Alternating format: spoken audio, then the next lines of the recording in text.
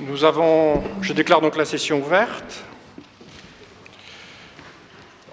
Nous avons besoin de désigner un secrétaire de séance. Je crois que c'était Madame Ballereau, donc Madame Anne Mailleux. Secrétaire de séance, je vous remercie.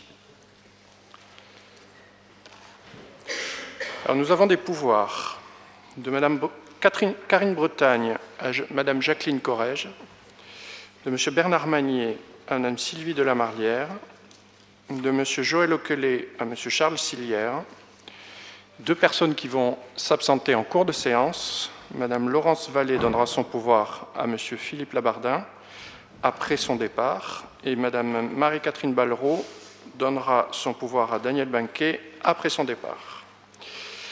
Alors d'abord, première chose, vous voyez qu'il y a une diapositive un peu particulière euh, projetée donc au tableau. Et euh, nous allons, en tout premier préambule, donc vous présenter le vote électronique pour lequel nous allons tester aujourd'hui l'efficacité en temps réel. Alors quand je dis que nous allons tester l'efficacité, ça veut dire que je mets la barre assez haute et j'espère que tout va bien marcher. Bonjour à tous et tous. Donc, euh, vous avez chacun et chacune un boîtier euh, numéroté qui va vous permettre d'exprimer vos votes. Euh, d'une manière très simple, on va faire un, on va vous présenter le.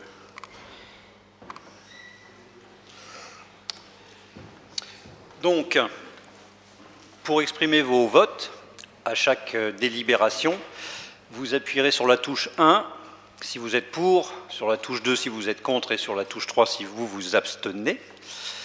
Vous verrez votre choix apparaître sur le petit écran de votre boîtier, ainsi que la, euh, mention euh, transmis.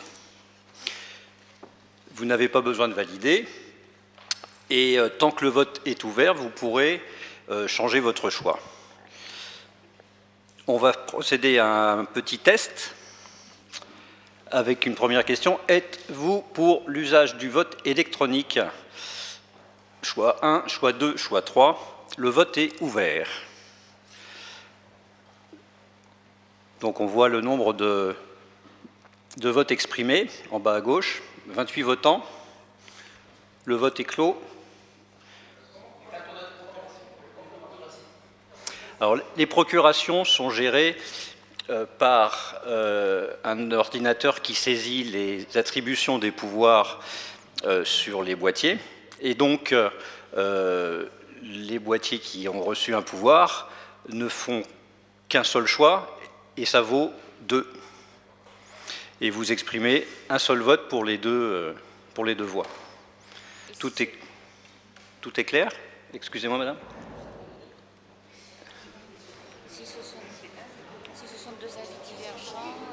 Ah bah non, on peut pas. Non, il faut choisir deux boîtiers, oui. D'accord. Donc, c'est prévu. Dans ces cas-là, on, vous donnera le boîtier, ouais, c'est ça. Tout va bien? Ah oui. Oui, on vous affiche tout de suite les résultats, bien sûr. Alors Donc 25 pour, 2 contre, 3 abstentions. 28, 30. Il y a 33 inscrits Hein. Il y a 28 votes et donc il y a 5 euh, non exprimés. D'accord? Attendez, là je ne comprends pas. Là. Il y a 33. 25, 28, 30. Inscrits. Moi je vois 30 votes là. 28 votes. 27 et 3, 30. 25 et 2, 27. Et oui, il y a des pouvoirs qui ont été saisis. D'accord. des pouvoirs qui ont, pouvoirs ont été saisis. D'accord. D'accord. D'accord. On va passer aux présentations. Alors, qui n'a pas voté là? On fait un test quand même. Bon, il va falloir recommencer. Il y a des absents. Il y a des absents. Ben, on a des pouvoirs. Ouais. C'est ça le problème. Non, mais tous les pouvoirs ne sont pas saisis, ils sont en train d'être saisis là. Voilà, c'est pour ça. Je tout n'est pas, tout n'est pas fait là. Euh, on est en phase de vote un petit peu avant la, l'inscription des pouvoirs que vous avez euh, mentionné. Charles Silière avait une question peut-être? Oui, c'est, euh, c'est peut-être une, question euh, qui paraît stupide, mais euh, j'ai le pouvoir de Joël Oquelet qui m'a recommandé de voter contre le, vote électronique et moi je suis pour. Comment je fais? Voilà, c'est ma question. Dans ces cas-là, dans ces cas-là, on va gérer l'attribution. Dans ces cas-là, on va vous donner le boîtier de, de la personne qui vous donne pouvoir et vous aurez deux boîtiers. Voilà, d'accord. Me- me- monsieur- Monsieur Silière, ne divulguez pas les votes comme ça. Bien sûr. Alors, bien sûr. non, Oui. Donc dans, ces cas-là, il faut le mentionner avant. Vous avez des votes distincts pour les pouvoirs que vous avez reçus et on vous donne le boîtier correspondant. Après, j'a- j'avais une, réflexion plus, sérieuse vraiment sur, le fond. On ne voit pas apparaître euh, nos choix, euh, enfin, on n'est pas identifié. Et ça, moi, je trouve ça très dommage parce que j'estime qu'ici, on, représente une partie de la population. Et, pour moi, il me paraît normal que, le- public, euh, la caméra, etc., puisse voir pour qui j'ai voté. Moi, j'assume mes, mes choix en tant que conseiller municipal. Oui, je suis d'accord avec vous. Je pense que ces procédures-là sont très intéressantes lorsque ce sont des votes secrets. Euh, et là, effectivement, ça limite tout problème et ça permet d'aller beaucoup plus vite plutôt que la boîte qui passe euh, euh, entre les rangs. hein. Mais les votes habituels, il faut continuer effectivement à main levée. Allez-y. C'était la phase de test. Très bien, ben, nous vous remercions. Oui, Monsieur Cerruti. euh, qui est aussi banal. Euh, il y a- il y a- parfois, il arrive que des conseillers municipaux euh, ne prennent pas part au vote pour diverses raisons, où ils sont engagés sur le dossier ou autre. Comment on procède là, monsieur le technicien? Je pense que tout simplement, vous n'appuyez sur une- aucune touche. Je pense que c'est ça. Excusez-moi, oui, pardon. Si quelqu'un ne veut pas prendre part au vote, il lui suffit de ne pas appuyer sur, euh, Bien sûr. sur les touches. Bien Voilà. sûr. Voilà. Juste, ce qui est Dernier important, c'est oui. quand même d'identifier la personne qui n'a pas voté. Ça, c'est important. Pour différentes raisons, elle ne peut ne pas participer au vote. Les, les Donc là, sont- ce sera important de bien l'identifier. Les votes sont enregistrés euh, nominativement, quand ce n'est pas des votes anonymes. Donc il y a une restitution dans le procès verbal où il y a les détails des votes pour chaque, euh, pour chaque euh, personne, ainsi que les gens qui ne sont pas exprimés, En revanche, pour le vote à butin secret, il y a possibilité de ne pas avoir les noms. bien évidemment. D'accord. Très bien. Merci de cette présentation euh, courte et efficace. Euh, je voudrais vous soumettre à votre approbation donc le compte rendu du le procès verbal du dernier conseil municipal donc du 22 septembre 2014. Est-ce que vous avez des précisions, des modifications à apporter Conseil municipal donc du lundi 22 septembre 2014. Monsieur Cerruti. Euh, non, j'ai pas de modification, simplement une remarque. J'ai vu que dans la deuxième partie du compte rendu, du procès verbal, on mentionne les interventions de quelques élus sans préciser le sens de leur intervention.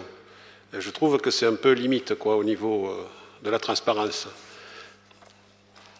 Dans la deuxième partie, il y a un tel et un tel est intervenu sur le dossier, point. Euh, moi, je, je propose quand même qu'on donne un petit peu euh, les- l'esprit de Alors, l'intervention. c'est-à-dire quel dossier? C'est l'ensemble, c'est les, les derniers, je ne les ai pas en tête, c'est de mémoire. Le 11, par exemple? 21, pardon. Il y a plusieurs dossiers. Vous savez, les- les- le, le procès verbal est établi euh, à la- la- au visionnage de la vidéo. hein, donc, euh, Euh, oui, oui, non, mais si vous voulez, la vidéo est une chose pour l'histoire, mais ça, c'est officiel, Oui. les procès-verbaux. Donc, par exemple, au dossier 21, vous avez, sont intervenus sur ce dossier Madame Borderie, Monsieur Gay, Monsieur Ocollet, Monsieur Serruti. Mais bon, pourquoi faire? Pour, Qu'est-ce qu'ils ont, de, quoi, de quoi ils retournent? Le, le 20, je suis intervenu, oui, bon, et alors? Et Ensuite, le 17, euh, Madame Borderie est intervenue, bon.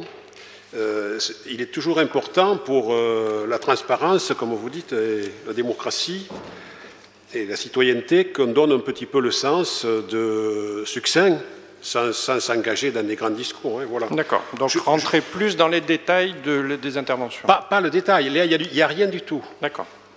Bon, je dis ça pour l'avenir, je ne vais pas. Donc, les secrétaires de séance, veillez à euh, donc, exprimer les, euh, euh, dans les grandes lignes hein, les teneurs de- des interventions qui sont faites. Très bien. Est-ce qui est contre? Qui s'abstient? Je vous remercie. Le procès verbal est donc adopté. J'aimerais juste vous informer des nouvelles délégations qui, auront cours à partir d'aujourd'hui euh, concernant les élus. Puisque, vous le savez, lorsque nous avons pris nos fonctions, nous avons établi les délégations en fonction de notre ressenti de l'époque. Or, maintenant, à la lumière de, notre expérience et de notre manière de gérer les dossiers, euh, nous avons euh, effectué quelques petites modifications. Donc, je vais vous donner les, délégations telles qu'elles ont été approuvées par la majorité. Monsieur Philippe Labardin, premier adjoint. Donc, euh, il aura en charge toutes les affaires relatives à l'administration municipale, à l'économie, au centre-ville, à l'état civil, aux autorisations à délivrer lors des opérations funéraires, aux affaires générales, à l'ordonnancement des dépenses et recettes, ainsi que toutes pièces relatives à la préparation, la passation, l'exécution et le règlement des marchés et accords cadres, ainsi que toutes décisions concernant leurs avenants lorsque les crédits sont inscrits au budget et aux arrêtés municipaux relatifs à la situation du personnel communal en l'absence du maire les, les pouvoirs de police des funérailles. Madame Laurence Vallée, adjointe au maire, aura donc pour fonction le patrimoine, la culture, les pouvoirs de police des, funérailles. Monsieur Bernard Magnier, adjoint au maire, aura donc euh, fonction et signature à la tranquillité publique, Marmande Tranquillité, à la police municipale et bien évidemment les pouvoirs de police des funérailles. Madame Martine Calzavara, adjointe au maire, aura donc délégation de fonctions et de signature à l'action sociale, à la politique de la ville et bien évidemment aussi les pouvoirs de police des funérailles. Monsieur Didier Duteil, adjoint au maire, aura donc délégation de fonctions et de signature à l'urbanisme, au logement et à l'environnement et les pouvoirs de police des funérailles. Madame Sylvie Delamarrière, adjointe au maire, aura donc délégation de fonctions et de signature à la jeunesse, à l'éducation, au commerce, aux animations et les pouvoirs de police des funérailles. Monsieur Jean-Luc Dubourg, adjoint au maire, aura donc délégation de fonctions et de signature au sport, aux associations et aux travaux, ainsi que les pouvoirs de police des funérailles. Madame Josette Jacquet, adjointe au maire, aura en charge les finances et le budget. Madame Yolande Munoz, conseiller municipal délégué, sera en charge du troisième âge, du Conseil des sages, de l'organisation de la Semaine bleue et de la journée intergénérationnelle. Madame Marie-Françoise Bouguès, conseillère municipale déléguée, aura en charge les jumelages, les associations caritatives marmandaises. Madame Jacqueline Corrège, conseiller municipal délégué, aura en charge la culture et le patrimoine. Monsieur Michel Hospital, conseiller municipal délégué, aura en charge les économies d'énergie. Monsieur Roland Christin, conseiller municipal délégué spécial, aura en charge l'hygiène et la propreté, ainsi que l'organisation de la fête de Marmande. Monsieur Serge Carbonnet, conseiller municipal délégué spécial, aura en charge l'eau et l'assainissement. Monsieur Patrick Cousineau, conseiller municipal délégué, aura en charge le suivi de l'environnement. Monsieur Patrick Morin, conseiller municipal délégué spécial, aura en charge l'habitat et l'OPA-RU. Madame Lydie Angéli, conseillère municipale déléguée spéciale, aura en charge l'insertion. Madame Nicole Galdin, conseillère municipale déléguée spéciale, aura en charge les affaires scolaires et la restauration scolaire. Monsieur Alain Verdier, conseiller municipal délégué, aura en charge le suivi du contrôle de gestion et du garage.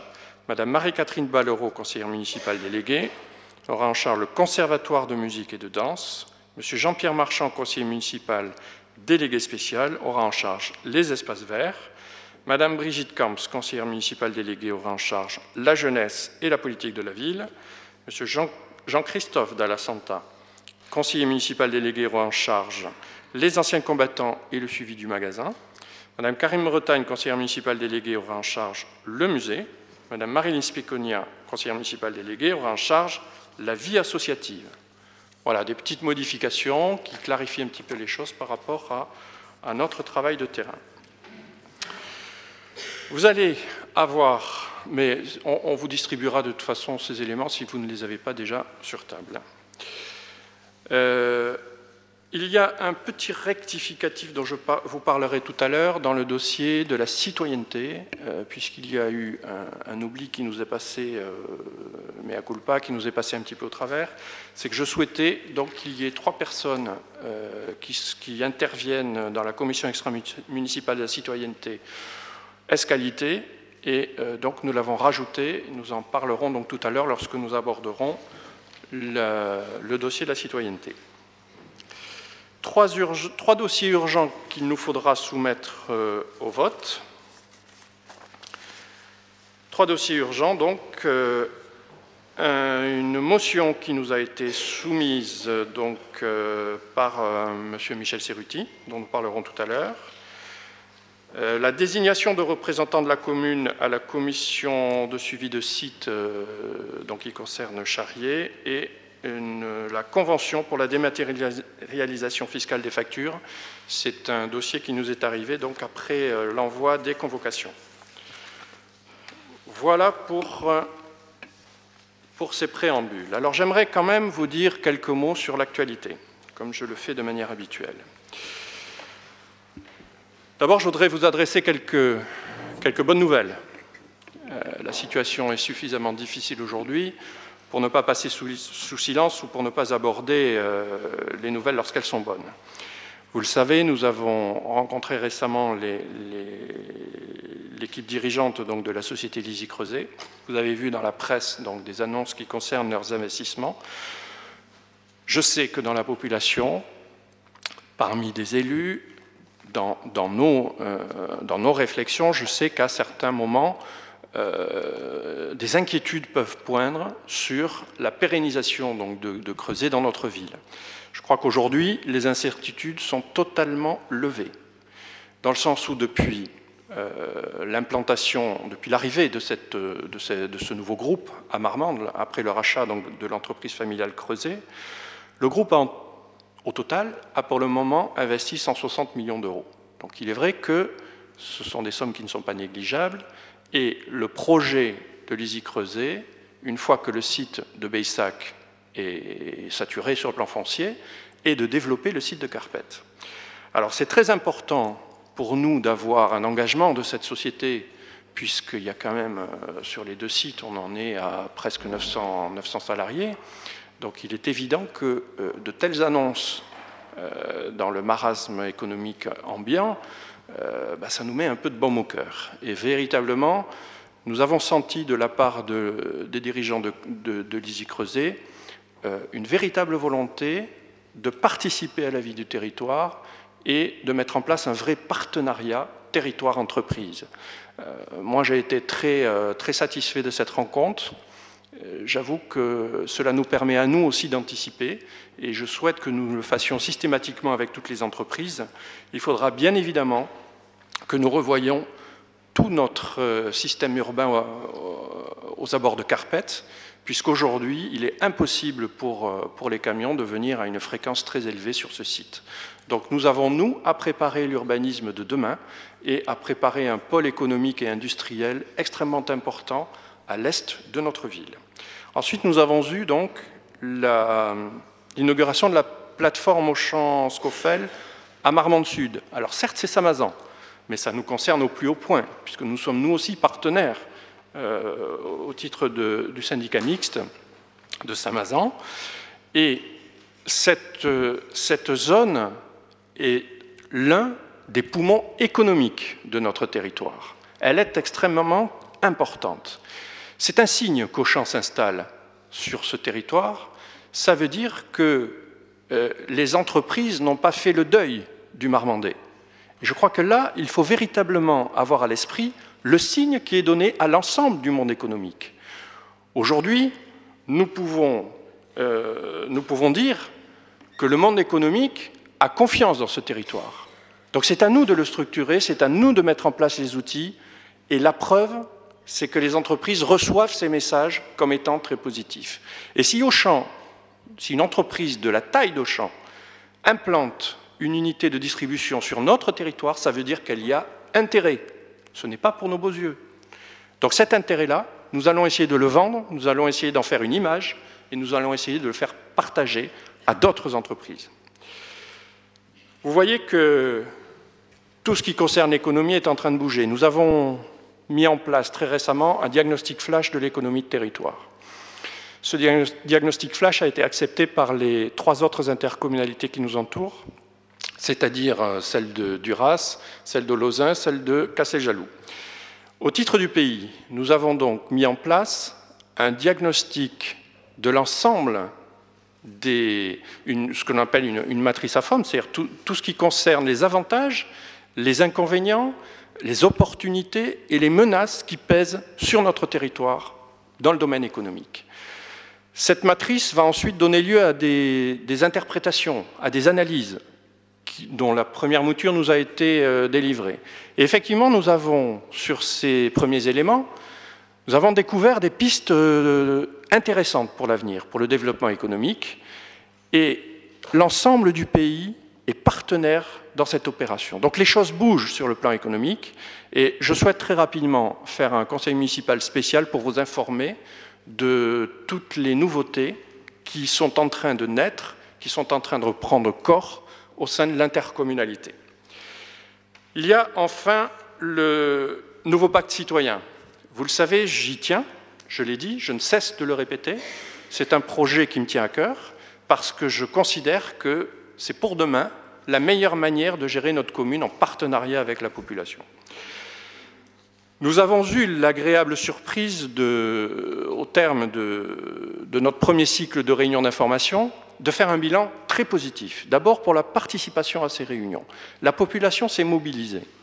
Nous avions un peu peur, ça a été un petit peu un, pari hein, de, de, mettre en place toutes ces réunions de quartier. Donc nous avons fait d'abord une réunion générale salle des mariages et ensuite une réunion par quartier. Donc 11 réunions au total en, deux semaines. Et la population a répondu présent. La population était là, elle a échangé dans un excellent état d'esprit, j'ai été très surpris. Il n'y avait véritablement aucune animosité, aucun regret par rapport à, l'organisation passée, un désir de découvrir et surtout un désir de participer. Euh, cela me fait penser que ce dossier est légitime, ce projet est cohérent et qui correspond à un besoin. Nous avons aujourd'hui 116 personnes qui se sont directement impliquées personnellement dans les réunions, dans l'organisation, au titre de, ce pacte citoyen. Et nous avons aujourd'hui 53 candidatures, 54, 54 candidatures euh, au poste donc de représentant de quartier pour 30 places. Donc, les places seront chères, c'est comme ça, mais c'est très bien. C'est très bien, il va y avoir une émulation, il va y avoir une sorte de rivalité, il va y avoir un échange. Et euh, je suis là aussi, pour ce qui concerne les, candidatures au poste de représentant de quartier, très heureux de ce succès. C'était euh, un premier essai. Pour l'instant, ça marche très bien. Ça sera à nous maintenant. J'ai dit à la population que la balle était dans son camp pour mettre en place cet outil. Eh bien maintenant, ils nous ont renvoyé la balle. La balle est dans notre camp parce que euh, sur le plan populaire, ça a été un succès. La balle est dans notre camp pour assumer maintenant ce, projet et pour le faire suivre comme nous l'avons présenté. Ensuite, nous avons le, dossier centre-ville cœur de vie. Euh, alors, je ne veux, pas, m'étendre sur, effectivement sur l'actualité euh, journalistique, mais de nombreux, articles ont, ont ces dernières semaines au centre-ville, à l'activité économique, au marché, à beaucoup de, euh, beaucoup de beaucoup d'états de fait qui concernent donc notre, notre ville. Et c'est vrai que le travail qui est entrepris est un travail colossal. Nous avons en ce moment même 56 fiches actions, c'est-à-dire 56 groupes de travail qui avancent en parallèle pour essayer de trouver des solutions à tous les problèmes qui se posent pour notre ville.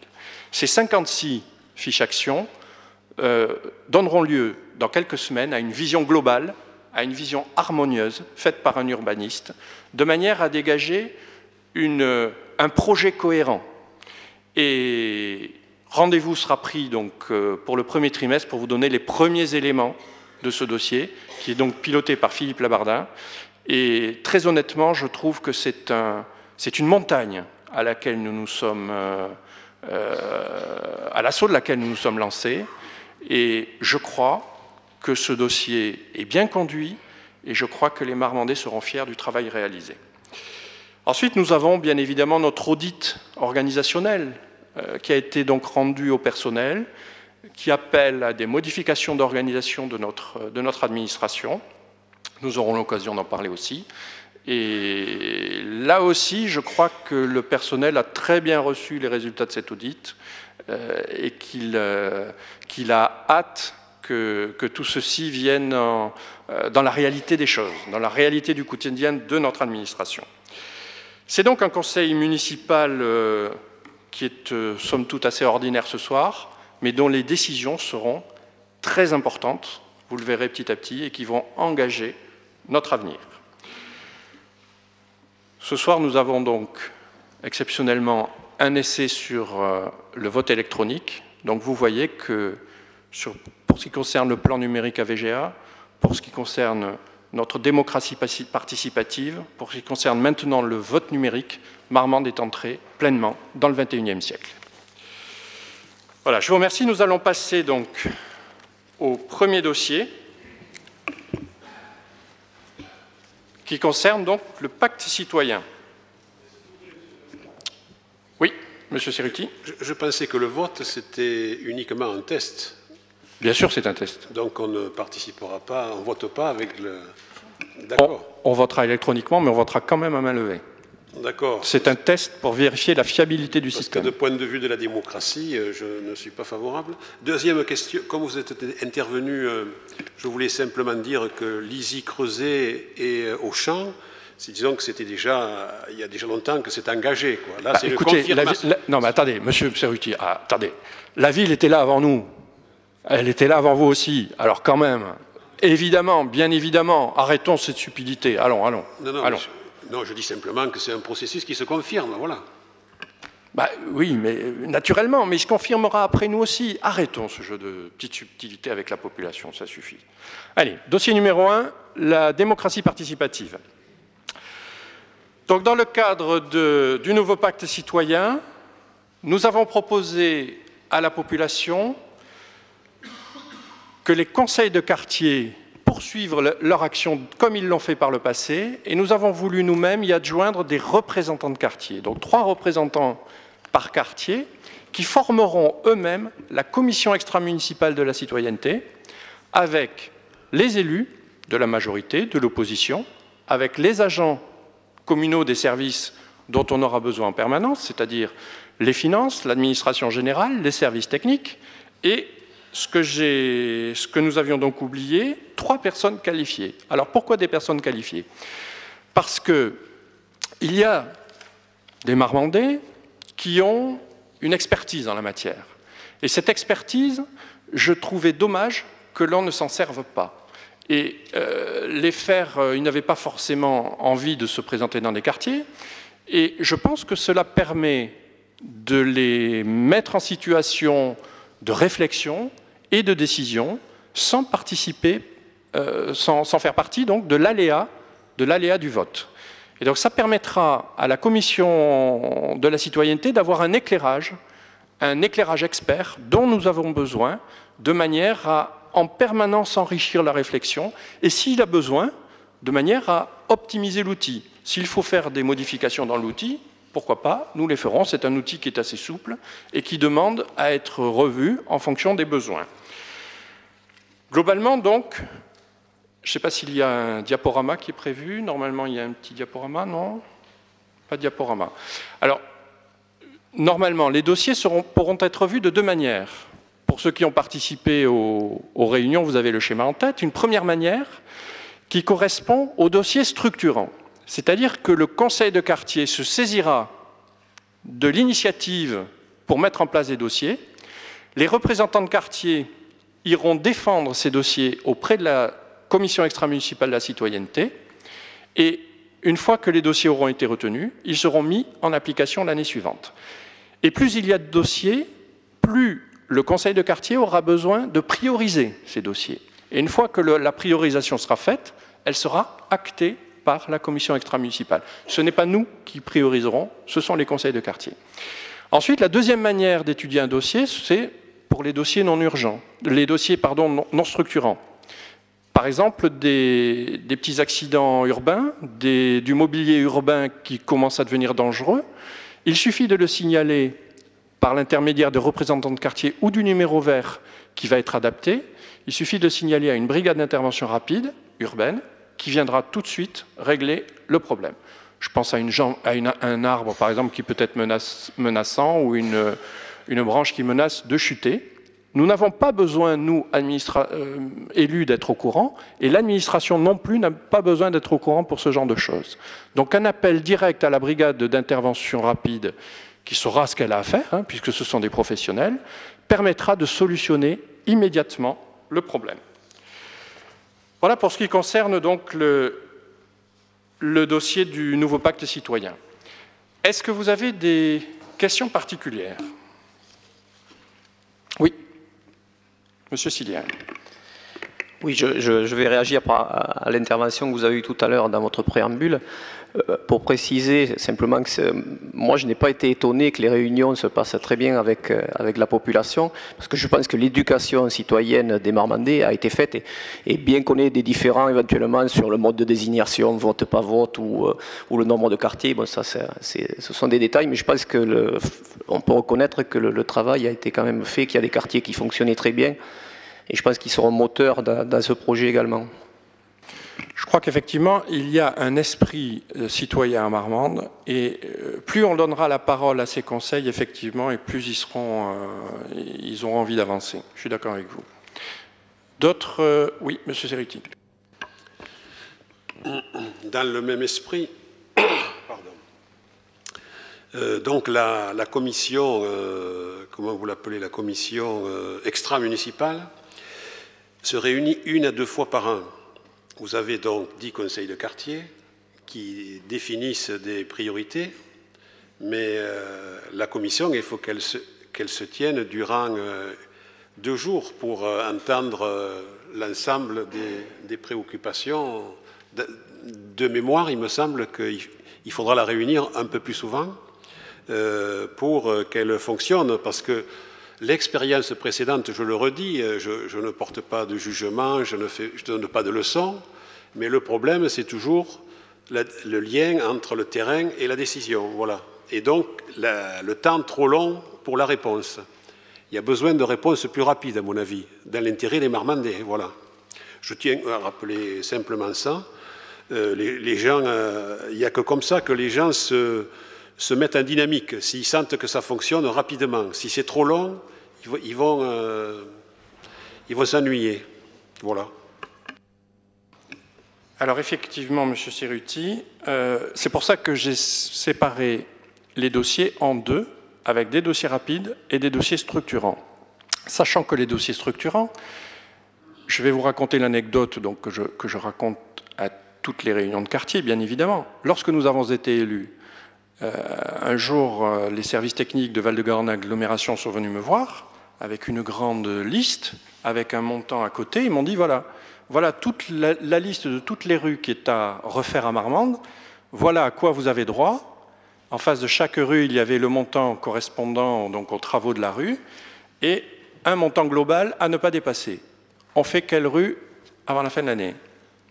Alors, moi, je circule beaucoup en ville de par ma profession, donc je connais à peu près l'état des rues. Donc j'ai pris des décisions qui correspondent à mon vécu à mon habitude, à mon usage de la ville. Mais ce que j'ai regretté à ce moment-là, c'est que ce système-là ne soit pas déjà en place, de manière à confier ce dossier au conseil de quartier pour avoir un éclairage local, c'est-à-dire savoir dans les quartiers quelle est la priorité en termes de rénovation de, revêtement de rue.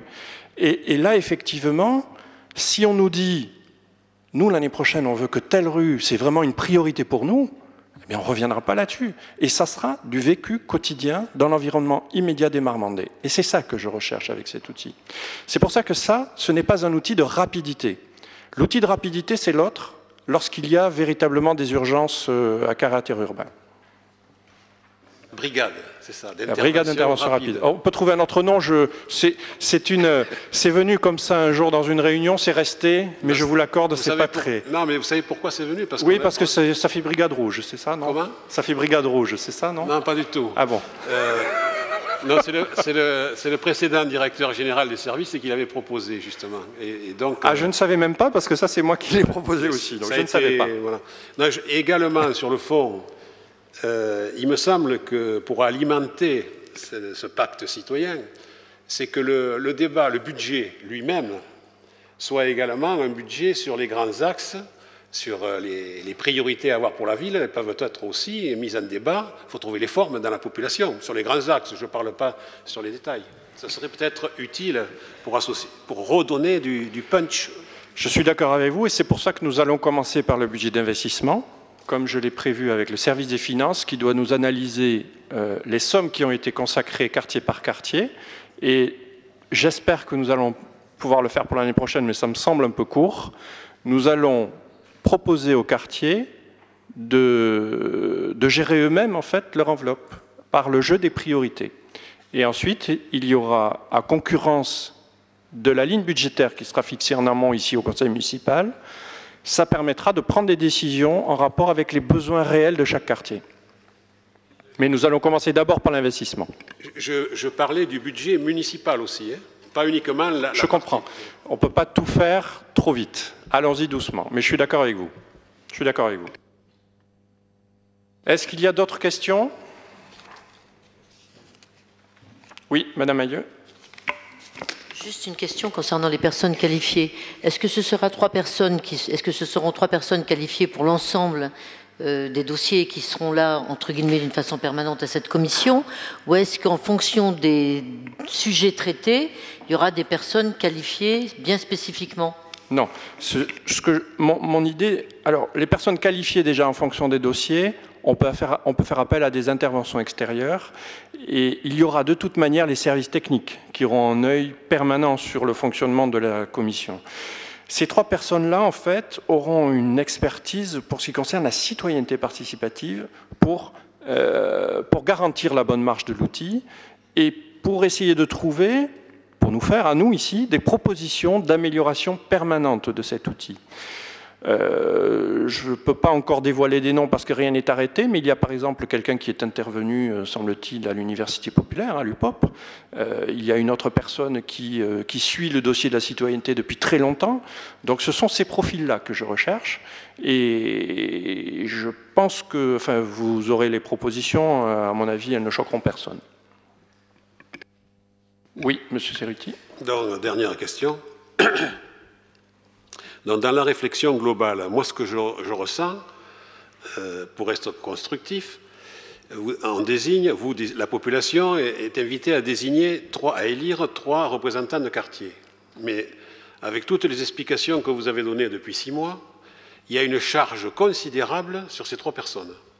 Euh, moi, je ne sais pas si elles vont euh, pouvoir assumer cette charge qu'on leur met sur le dos parce qu'il faut une mobilisation, une présence, un lien entre les habitants, parce que pour porter les exigences, les, réflexions des habitants, animer la réunion collective du quartier, donc il faut inviter les gens, il faut discuter, il faut se réunir, il faut programmer, il faut mettre qui met à l'ordre du jour, comment on fait l'ordre du jour. C'est tout un travail assez considérable.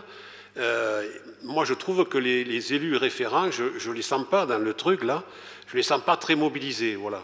À mon avis, il y a besoin d'un investissement des élus référents, que vous avez désignés certainement, euh, plus, plus impliqués. Parce qu'à mon avis, c'est une charge considérable euh, dans la mesure où j'écoute ce que vous dites, hein, en tout cas. Voilà, moi j'attire l'attention là-dessus. Je ne vois pas comment nos élus peuvent être impliqués aujourd'hui à partir du moment où l'outil n'est pas encore en place. C'est difficile. vous pensez bien qu'on ne peut pas ramer dans un bateau si on n'est pas dans le bateau c'est un peu, difficile. Donc, attendez que l'outil se mette en place. Il y aura effectivement des, élus référents, il y aura les représentants de quartier, il y aura aussi l'administration, donc le service citoyenneté qui sera, actif. Et puis, vous savez, je crois que ne surestimez pas le rôle des représentants de quartier. Ils auront à garantir que les dossiers qui sont choisis par, euh, qui sont priorisés par le conseil de quartier arrivent bien à la commission extra-municipale. Après, leur travail s'arrête. Et, faire le lien ensuite, ce qu'on appelle le rétrocontrôle. Mais c'est tout. Hein. je ne crois, pas que ça ne sera pas à eux, en tout cas, de monter les dossiers. Voilà pour ce, dossier de la citoyenneté. Dernière intervention Dernière question Non? Très bien. Je vous propose donc de passer au vote. Je propose donc d'approuver la composition et le fonctionnement de la commission extra-municipale de la citoyenneté et de m'autoriser ou mon représentant à signer tous les documents nécessaires. Alors, premier vote électronique et deuxième vote à main, à main levée.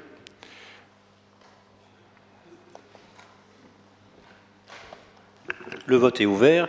Euh, un petit une petite précision, les, euh, les, résultats sont présentés de manière globale, mais bien sûr qu'ils peuvent être disponibles euh, avec le détail, c'est prévu dans la version. D'accord. Merci.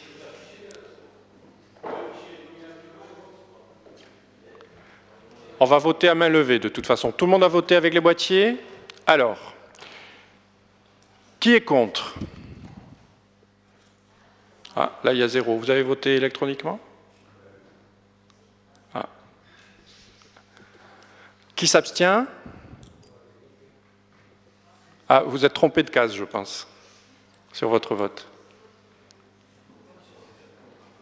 Je pense que vous êtes trompé de case. Très bien, je vous remercie. Dossier numéro 2. Dossier numéro 2, mutualisation pour la construction de la station d'alerte. Monsieur Serge Carbonnet nous le présente.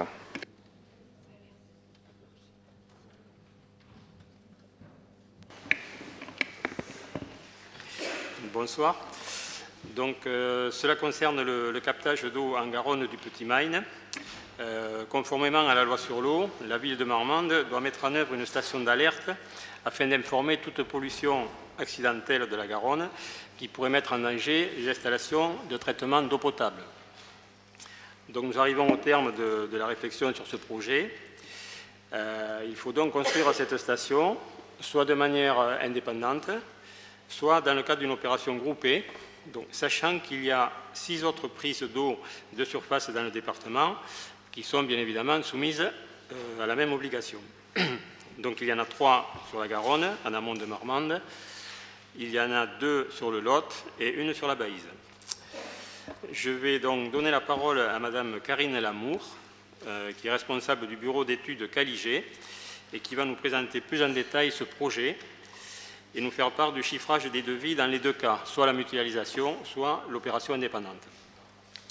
Donc il sera proposé au conseil municipal d'approuver la construction de cette station d'alerte dans le cadre d'une opération groupée, car euh, l'économie, dont vous allez le voir, euh, qui est, réalisable est de l'ordre de plus de 50%. Alors, dans le document qui, nous a été envoyé, euh, au niveau des chiffres, je voulais le, souligner, il y a une petite modification, donc à savoir dans le, cadre d'une opération groupée, on avait un coût de construction de 34 040 euros, et ce chiffre passe à 38 000 euros. Donc, suite à des éléments qu'on a eus au dernier moment, euh, le coût de la construction donc, euh, indépendante, euh, Normand le faisait tout, seul, donc passe de 76 000 euros à 75 700. Bon, il n'y a que 300 euros d'écart. Bon, voilà. Merci, M. Carbonnet. Nous allons attendre la solution des problèmes techniques.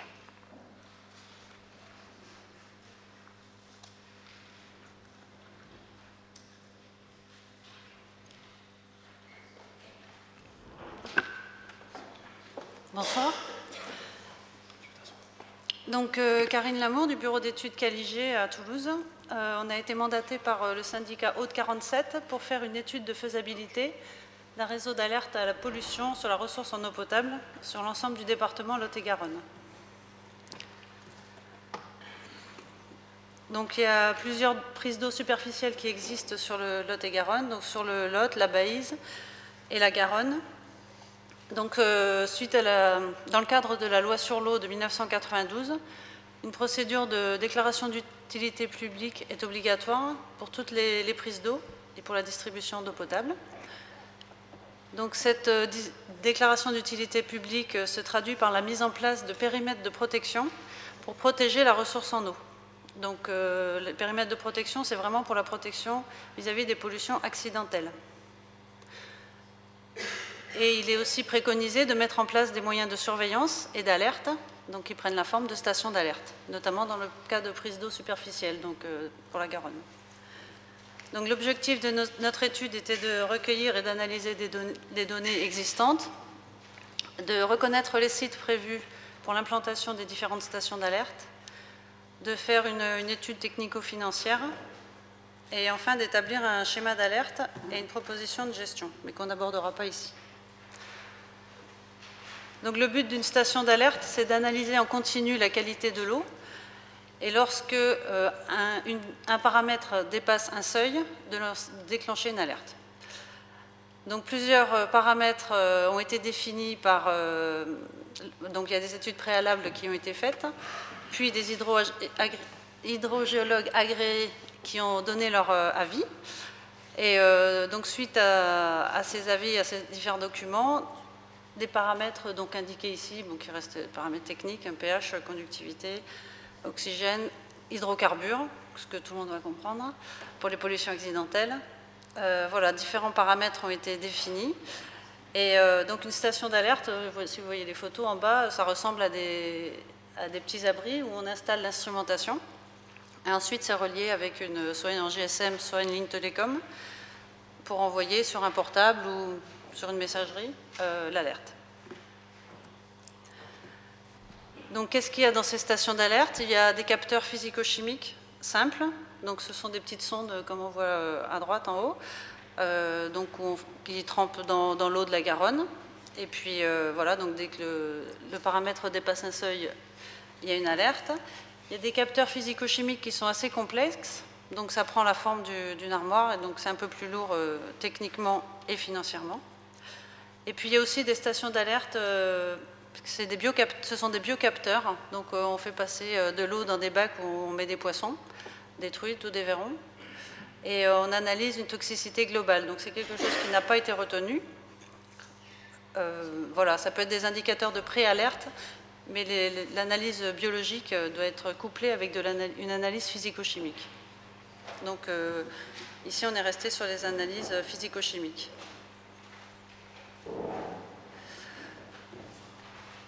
Donc le coût, moyen d'une installation en termes d'instrumentation, c'est environ 50 000 euros pour le matériel. Donc on a consulté différents fournisseurs euh, et différents euh, utilisateurs. Donc les, oui, c'était pas toujours simple au niveau des fournisseurs d'avoir des prix puisque c'est un projet dans le futur, donc forcément, ils ne voulaient pas dévoiler leur, leur carte. Et ensuite, euh, après l'installation et la, construction, il faudra faire l'exploitation. Donc juste un petit mot sur la maintenance. Pardon. Euh, il, faut, euh, il, faudra donc régulièrement étalonner le, matériel. Il est clair que, comme on parle d'alerte, il faut que le matériel soit fiable tout le temps. Euh, donc il nécessitera un personnel formé et disponible. Bon, on n'est pas encore euh, allé jusqu'à la, la, façon de, l'exploiter. Est-ce que ça sera regroupé ou délégué? Voilà, ça sera une autre étape. En tout cas, il faudra que l'exploitation soit faite par un technicien spécialisé et dédié. Donc pour définir l'implantation des stations d'alerte, euh, il y a un inventaire des sources potentielles de pollution donc c'est souvent les voies de transport avec des ponts, puisque voilà des accidents de la route essentiellement, euh, des industries avec des rejets accidentels de, cuves et des rejets de, stations et des trop-pleins de postes de relevage également. Donc les pollutions recensées sont essentiellement de type euh, hydrocarbures, métaux, bactériologiques ou éventuellement des produits chimiques. Donc les critères de sélection du site, euh, bah, il y en a eu euh, plusieurs. Euh, si on pouvait acheter facilement la parcelle, si elle était bien placée, est-ce que la zone est inondable, accessible, etc. donc une, zone, une première zone avait été fixée en amont par les hydrogéologues agréés. Et ensuite, on a fait un choix sur place. Est-ce que je peux boire de l'eau J'ai avalé une mouche.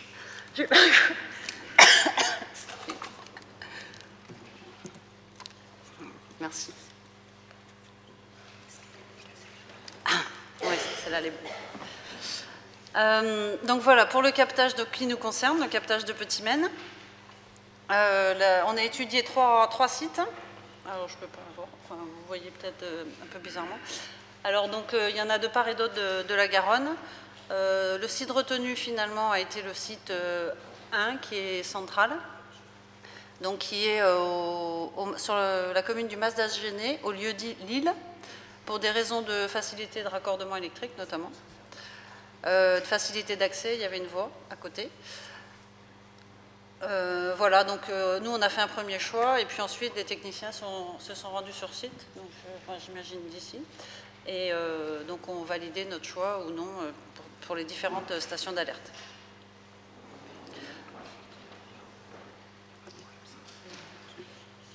Donc le, site retenu est sur, sur une digue. Et donc à côté, on a mis le, chiffrage, donc les 50 000 euros tout en haut du matériel, donc qui concerne uniquement l'instrumentation.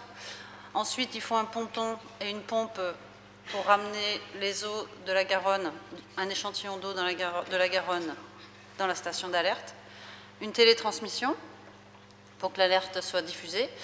Et ensuite, il y a les aménagements extérieurs, donc il faudra faire un levé topo, acheter le, le terrain si nécessaire. Euh, en général, oui, il faut l'acheter. Euh, le raccordement EDF Télécom, un local technique. Euh, donc la majorité des stations d'alerte sont en zone inondable. Donc là, on est en zone roche foncée qui normalement n'autorise pas les constructions. Bon, ça, ça sera à voir, puisqu'ici, c'est un élément technique et qui est en relation avec une alerte par rapport à l'eau potable. Donc, je pense qu'une dérogation pourra être obtenue. Euh, un chemin d'accès et puis un ensemblier pour faire le, raccordement et divers imprévus. Voilà. Donc, globalement, pour le, captage de Petit Maine, on arrivait à 152 000 euros pour la construction. Alors, les financements. Le Conseil général euh, finance à 10% si l'opération est groupée, c'est-à-dire que l'ensemble des stations d'alerte sont- construites sous l'égide du O47. Si les opérations sont isolées, il faut faire une demande, mais bon, clairement, euh, ça risque de ne pas être euh, important, voire nul, puisque clairement, il veut euh, pousser, enfin, le Conseil général veut pousser l'opération groupée. Et en ce qui concerne l'agence de l'eau, les subventions sont de 50% pour la part urbaine et 60% pour la part rurale. Donc au niveau de l'agence de l'eau, il y a des communes, enfin les communes sont classées en urbain ou rural. Donc on a calculé le pourcentage à chaque fois en fonction de la part urbaine et de la part rurale qui, euh, fait l'objet de la distribution d'eau potable. Et l'agence de l'eau subventionne de 5% supplémentaires si l'opération est groupée. Donc, euh, si la... Donc on est à 152 000 euros coût station d'alerte. Les subventions euh, donc sont à 50,2% parce qu'ici, il se trouve que la distribution d'eau potable concerne quasiment uniquement la part urbaine. Donc on est quasiment à 50%. Donc ce qui resterait, c'est 75 700 euros si euh, l'achat se faisait simplement par, euh, par la commune de Marmande. Au total, on arrive à 900 000 euros avec toutes les stations d'alerte. avec, bon voilà, on est, on est un peu plus que 50%, euh, enfin au niveau des subventions, si toutes les stations sont. euh, puisque les taux de financement ne sont pas tout à fait les mêmes sur chaque. Donc si l'opération est groupée, le coût total est toujours de 900 000 euros. Les subventions augmentent puisque du coup on a le Conseil général qui subventionne 10% supplémentaire. Et on a estimé que vous gagnez un gain sur achat, puisque forcément, quand vous allez acheter 6 stations d'alerte, vous allez payer moins cher que si vous en achetez 6 fois une station d'alerte. Ça, c'est quand vous achetez euh, aux commissions, c'est pareil. Plus vous en achetez, moins c'est cher. Donc le coût restant, c'est 225 000 euros. Donc euh, c'est quand même important. Et en plus, euh, les 225 000 euros sont divisés par 6 et vous payez qu'un sixième de de du total. Ce qui n'est pas tout à fait la même chose que de payer. euh, Est-ce que vous comprenez ce que je veux dire? Disons que vous y gagnez parce qu'en fait, comme vous êtes essentiellement une part euh, urbaine, euh, comme O47 euh, subventionne, globalement c'est à 55%, vous, vous êtes à 50%, donc vous êtes pénalisé. Le fait de passer en opération groupée, vous payez encore, encore moins. Donc globalement, au lieu de 75 000 euros tout seul, vous payeriez que 38 000 euros si l'opération est groupée.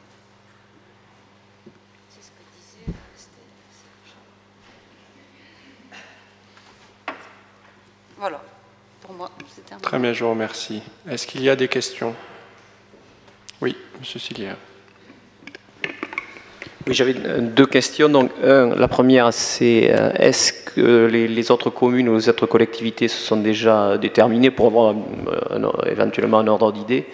Et deuxième question, je pense à la, à- à la plage. Est-ce que les données qui seront euh, communiquées euh, par l'intermédiaire de cette station d'alerte pourront servir pour euh, éventuellement euh, voir s'il n'y a pas des, des dangers euh, par rapport à la baignade Madame. Ah, c'est pas l'objectif. Alors la première question, non, ils n'ont pas décidé. Euh, moi, j'ai- on a fait la présentation il y a trois semaines à peu près. Mais donc depuis, euh, il y a une autre présentation comme celle-ci que je dois faire dans une autre collectivité. Donc la décision n'a pas été prise. Euh, pour le deuxième point, par rapport à la baignade, alors ici, l'alerte, c'est vraiment par rapport à, à la qualité de l'eau brute pour faire de l'eau potable. Donc c'est pas tout à fait la même chose. Après- est-ce que les données seront publiques? Alors ici, euh, bon après on verra au niveau de l'exploitation, l'idée c'est d'avoir euh, uniquement l'alerte quand ça dépasse le seuil. Donc après l'exploitant pourra aller, euh, pourra, mais bon c'est pas, c'est pas prévu. D'accord. Donc à nous de une- voir avec l'exploitant pour Oui, être voilà, tenu au courant en permanence des dépassements de taux. Mais ça arrive déjà, c'est-à-dire aujourd'hui normalement il, il surveille la qualité des Oui, eaux brutes au niveau de son usine. Bien sûr. Et voilà. Mais il n'y aura pas de différence avec ce système-là. Sauf qu'ici vous êtes deux heures en amont, au moins deux heures en amont. C'est ça la différence Donc en fait. euh, effectivement, ça pourra intégrer un plan de prévention du risque dans la baignade. Oui, notamment, il y a des données comme la turbidité ou, euh, qui peuvent euh, servir. D'autres questions? Oui, Monsieur Ceruti. Euh, donc, c'est une coopération, si j'ai bien compris, avec l'ensemble des, des lieux qui sont précisés là sur la note euh, pour euh, le réaliser. Mais qui c'est qui réalise euh, ce, ce projet concrètement? Nous, on en est au, au niveau de l'étude faites- de faisabilité. faites l'étude, mais qui- Ensuite, il faudra désigner un maître faut désigner, d'œuvre. il faut désigner un maître d'œuvre. Voilà, un maître d'œuvre qui, lui, va euh, D'accord. de façon plus précise. Et ensuite, l'entretien, et comme vous avez dit, il faut suivre, il faut entretenir, il faut exploiter. Qui, qui sera Oui. chargé d'exploiter? Ça faisait partie aussi de notre, de notre étude. Donc, euh, pour bah, il y a plusieurs solutions. Soit c'est euh, une, euh, une organisation départementale, comme ça arrive quelque, par exemple dans, le, dans la Haute-Garonne, c'est le laboratoire des eaux qui est chargé du suivi de toutes les stations d'alerte de Haute-Garonne. Mhm. Donc ici, euh, il n'y a pas de structure a priori qui existe, notamment au niveau de O47. Euh, donc l'ensemble de- des stations d'eau potable sont en délégation, soit Veolia, soit SOR. Et euh, donc a priori, ça sera délégué. Mais euh, voilà, après, l'organisation, est-ce que chacun va être chargé de sa station d'alerte ou quelqu'un va euh, s'occuper de l'ensemble des stations d'alerte? Ça, voilà, nous, on, on a proposé des, des modes. Oui, ma préoccupation, c'est d'être le moins dépossédé des choix qui, Ah oui. du territoire. Voilà, c'est ça hein, ma question. Maintenant, la coopération est nécessaire, mais il faut bien marier les deux, à mon avis, pour l'avenir. Très bien. Là, je, je- je précise tout de même que c'est effectivement la mutualisation de, La construction. pour ce qui concerne la construction et donc le financement uniquement. Hein voilà. Oui, Monsieur Gay. Oui, c'était juste pour demander, euh, est-ce que les, les stations vont être près de Garonne? Elles vont être installées près de la Garonne. Ah oui, oui. Et lors des les inondations, rives. euh, elles risquent d'être inondées, ces Eh stations bien, elles, sont toutes, elles seront toutes surélevées, donc euh, ça fera partie de- du travail du maître d'œuvre de définir exactement l'implantation. elles, elles vont être mises au-dessus de 13 mètres, c'est ça? Puisque je Elles crois que c'est- seront, Ah non, elle est pas à elles, 13 elles mètres, seront moi, j'ai sur les digues, au-dessus des digues. D'accord, ok. C'était pour savoir. euh, Moi, j'avais vu 2,50 m. On, j'ai- on a étudié le PPRI à chaque fois quand il y en avait un, ou la cote d'inondation euh, maximum. Et on a regardé la, la cote par rapport au, au niveau euh, de la digue, et ça faisait à peu près 2,50 m de plus. D'accord. D'autres questions? Pas d'autres questions? Très bien, mes chers collègues, je vous demande donc euh, d'approuver la construction de la station d'alerte dans le cadre d'une opération groupée avec les autres gestionnaires de prise d'eau de surface du département. Alors nous allons d'abord voter par voie électronique.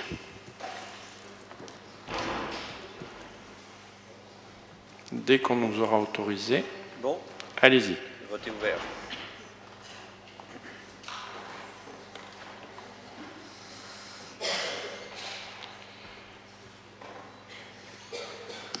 Alors nous allons maintenant voter à main levée.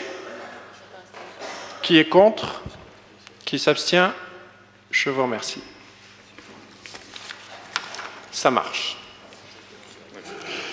Dossier numéro 3 et 4. Euh, Rapport annuel 2013 sur le prix et la qualité des services publics d'eau potable, partie nord et sud de la commune du Marmande. Et numéro 4, rapport annuel sur le prix et la qualité des services publics d'eau potable et d'assainissement de la commune de Marmande, partie centrale, pour 2013. Monsieur Serge Carbonnet. Donc euh, là encore, conformément à la loi, donc, dès l'apparition des rapports annuels euh, sur le prix et la qualité des services publics en eau potable et en assainissement, donc il y a obligation de les présenter au conseil municipal et à la collectivité. Donc trois zones géographiques gérées de manière différente sur le territoire de la ville de Marmande, la partie nord, la partie sud, la partie centrale. Monsieur Bourdillon, responsable du service eau et assainissement de la ville de Marmande. Monsieur Guittard, responsable de Veolia sur Marmande. Monsieur Battu, responsable de Veolia au niveau départemental, pour nous présenter ces rapports plus en détail. Voilà, donc je leur laisse la parole et les remercie. Très bien. Euh, donc on va commencer par la partie centrale, comme vous l'a dit M. Carbonnet, on est divisé en trois zones sur Marmande. Donc pour vous situer euh, rapidement, euh, la partie centrale c'est la zone blanche qui est comprise entre la Garonne et l'avenue Condorcet grossièrement.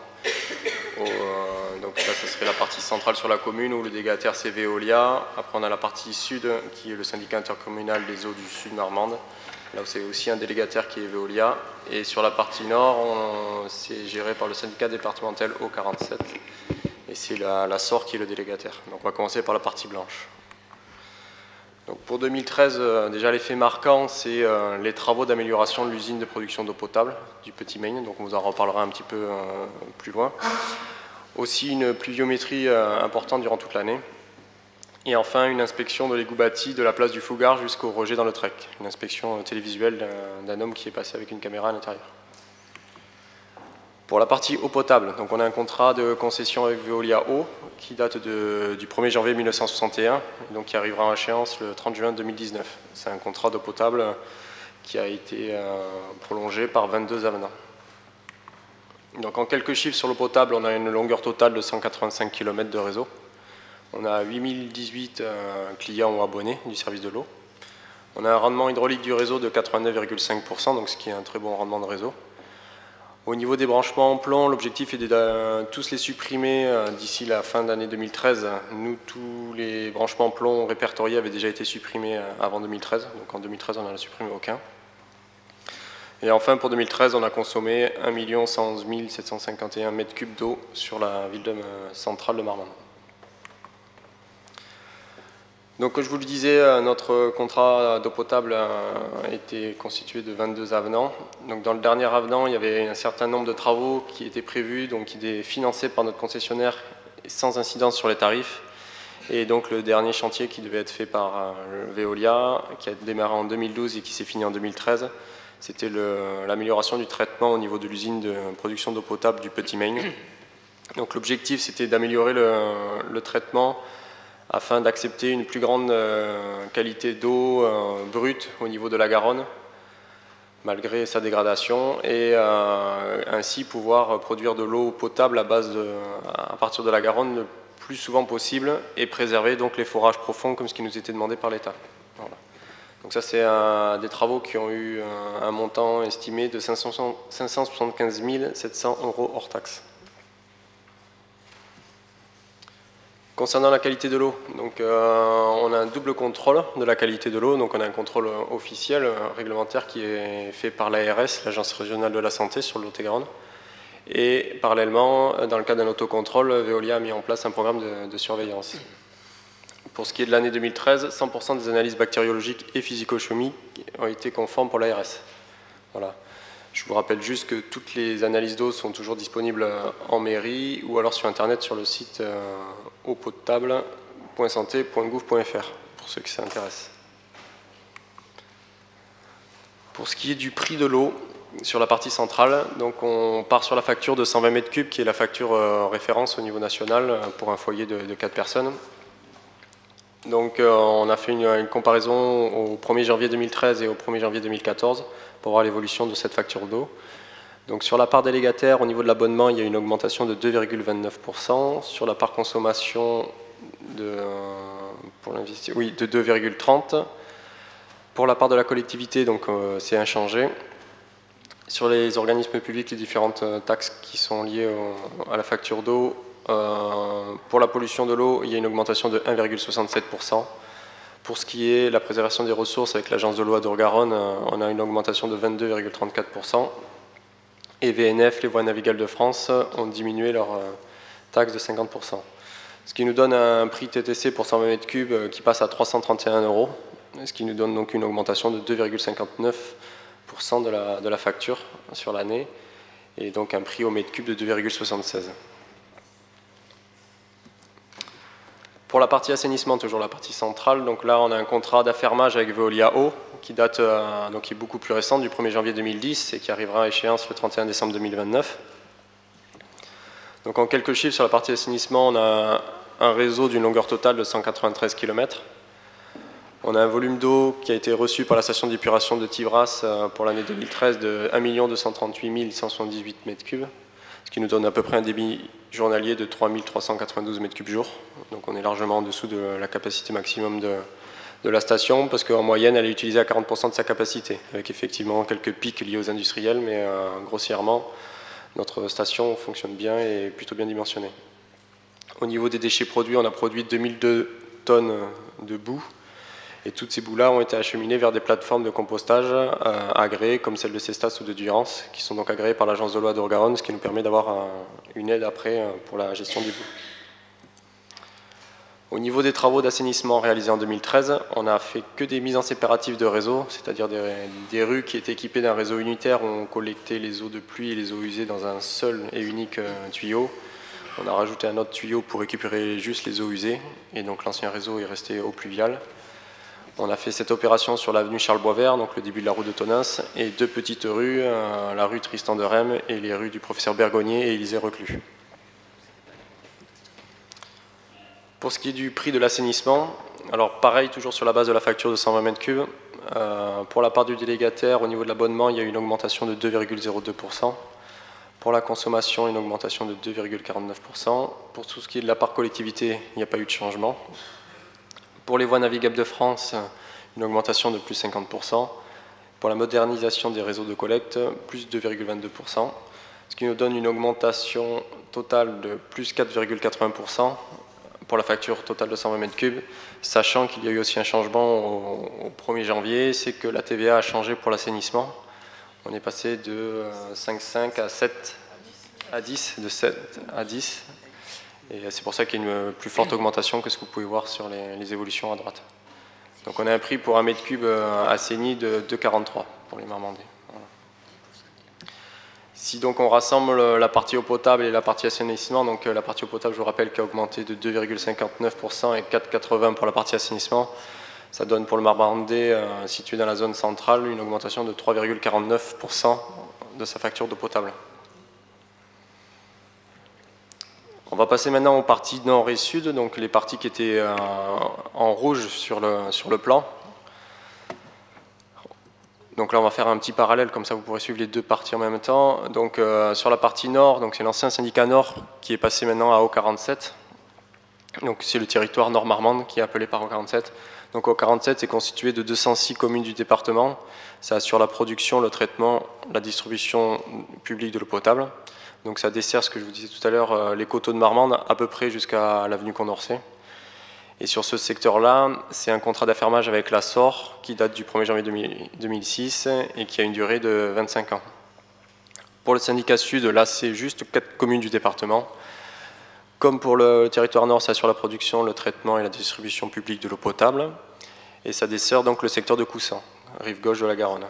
Et donc là, il y a également un contrat d'affermage avec Veolia Eau qui date du 1er janvier 2013, qui est tout récent et pour une durée de 10 ans. Au niveau de l'origine de l'eau, euh, dans les deux cas, c'est euh, souterrain. Euh, pour le nord de Marmande, ça provient du forage de Pérouille, qui est situé sur la commune de Virazeille. Pour la syndicat sud, ça provient du forage profond du Muscat, qui est sur le syndicat de Cocuman, exactement sur la commune de Marcellus. En quelques chiffres, donc sur le territoire Nord-Marmande, il y a 907 abonnés qui appartiennent à la commune de Marmande. Donc on a gagné un abonné par rapport à l'année dernière. Sur le syndicat sud, correspond on a 145 abonnés, donc plus 3. Donc c'est quand même très faible par rapport au nombre d'abonnés sur la partie centrale. Au niveau rendement réseau, il n'y a pas un très bon rendement réseau sur la partie nord, à 68,48%. Par contre, sur la partie sud, il y a eu un très bon rendement réseau sur l'année qui vient de s'écouler, 91,60%. Et pour ce qui est de la qualité de l'eau, dans les deux cas, on a 100% des analyses d'eau qui ont été conformes aux normes en vigueur, que ce soit en limite et en référence de qualité. Au niveau du prix de l'eau, alors euh, pour la partie nord-marmande euh, gérée par O47, on a une diminution du prix de l'eau entre 2013 et 2014 de moins de 3,49%, soit un prix de l'eau à 2,81 euros le mètre cube TTC, euh, ils étaient à 3,04 en 2013, mais ce qu'il faut savoir, comme je vous disais, c'est que le syndicat Nord est passé à O47 et donc ils ont appliqué leur euh, système de prix unique sur tout leur euh, territoire. Donc, voilà.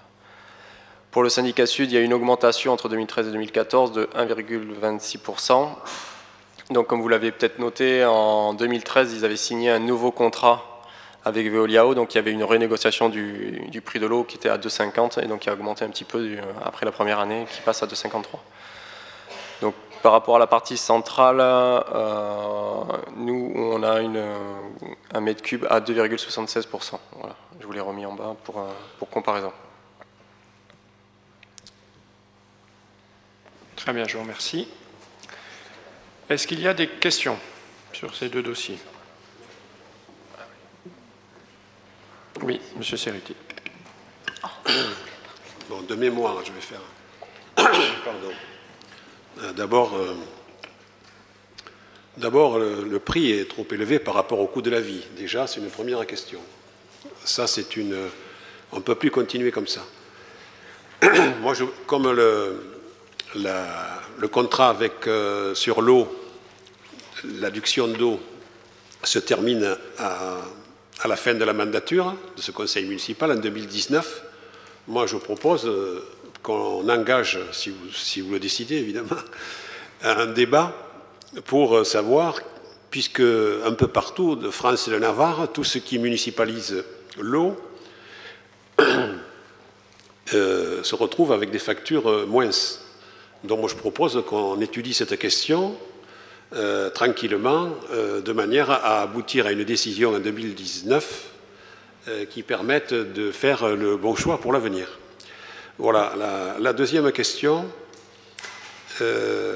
sur le contrat concernant l'eau et l'assainissement, de mémoire, il y avait des travaux prévus dans le contrat avec Veolia, et puis, euh, vous avez parlé des travaux qui ont été réalisés au niveau de l'assainissement, mais ça, c'est dans le budget assainissement. Il y a deux choses différentes. Euh, donc, euh, il était, de mémoire, il était prévu qu'il n'y ait pas d'augmentation, mais j'ai vu qu'il y avait une augmentation assez importante au niveau de l'eau et de l'assainissement. Est-ce que, est que le contrat qu'on a signé, est-ce qu'il est respecté, ou est-ce que c'est... Puisque, normalement, Veolia avait créé les conditions pour qu'on suive la qu'on suive ce, dossier de manière euh, assez précise pour ne pas euh, passer à côté de, différences et d'écarts euh, de ce type. Voilà, donc moi, moi je, suis, inquiet sur cette augmentation considérable quand on voit le, coût de la vie qui, reste, qui augmente, quoi, et avec le pouvoir d'achat qui, qui stagne. Voilà ma remarque toute simple. Euh, concernant les prix au niveau de, de haut 47, c'est uniquement de haut, on ne parle pas d'assainissement. Hein. donc, euh, c'est quand même, euh, il faut relativiser. Voilà. Je vous remercie. Merci, M. Ceruti. Je vais d'abord vous répondre aux deux premiers points et ensuite nous, verrons avec la société Veola, les représentants de la société Veola pour le troisième. d'abord, effectivement, pour ce qui concerne le prix de l'eau, oui, c'est toujours trop cher c'est toujours trop cher par rapport à, la vie. Euh, je remarque quand même une chose, euh, c'est que le prix de l'eau le plus bas sur les trois parties, c'est donc le syndicat sud à 2,53 euros. Or, c'est celui qui a la moins bonne fiabilité de réseau. Donc, il n'y a pas de secret. Si on dépense pour entretenir les réseaux, on a une bien meilleure qualité technique et forcément ça se traduit sur le prix de l'eau. Euh, concernant le, débat sur la régie, euh, oui, il faut le mener, ce débat. J'y suis extrêmement favorable, j'ai toujours été. Je crois qu'aujourd'hui, nous sommes, euh, nous sommes, nous, désignés par la population pour gérer au mieux ces acquis et donc, effectivement, aussi le dossier de l'eau. Moi, aujourd'hui, ma religion n'est pas faite. C'est-à-dire qu'il faudra non seulement qu'il y ait un débat, parce que le débat, c'est bien beau, mais le, débat, ça n'a jamais fait un prix de l'eau. Il faudra aussi que nous ayons des études techniques. Il faudra savoir où on met les pieds. Parce que si c'est pour prendre en régie, pour ensuite avoir des pépins techniques sur le réseau, euh, comme par exemple ça se passe à Paris aujourd'hui, moi je ne suis pas convaincu. Donc j'attends véritablement de savoir euh, avant 2019, puisque ça sera le, terme de, la délégation de service public, oui, nous engagerons la réflexion, et oui, nous engagerons des études, mais ce n'est pas que la réflexion qui déterminera notre choix, ce sont aussi les études. Euh, je pense qu'il est, euh, de, notre devoir d'être extrêmement prudent. Alors, c'est vrai que quand on regarde la rentabilité de l'opération, qui est à 4,4%, c'est vrai que c'est important par rapport au coût de la vie aujourd'hui. Euh, mais globalement, euh, si un jour nous avons de grandes déficiences sur le réseau, est-ce que notre budget municipal le supportera? Voilà. Donc tout ça, ce sont des questions dont il faudra prendre conscience, qu'il faudra mener le jour venu. Et effectivement, là, c'est un peu prématuré, mais euh, je vous propose, moi, deux ans avant la fin de, euh, de la délégation d'engager véritablement les études qu'il faut et la réflexion qu'il faut pour prendre la meilleure des décisions. Sur le troisième point, donc, sur l'évolution contractuelle du prix, messieurs. Je peux, je peux, ajouter une question, monsieur le maire? Oui, bien sûr, pardon. Sur le.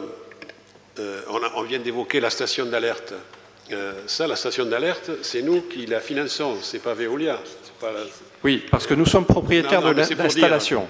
Y compris l'eau et l'assainissement, c'est nous qui réalisons les, canalisations. Nous sommes euh, propriétaires des installations, nous les confions en gestion. Donc vous avez tout à fait raison, il faut regarder euh, ces questions sur l'alimentation également. Mais ça, ça mérite débat, puisqu'on peut sans doute y trouver un intérêt pour la population.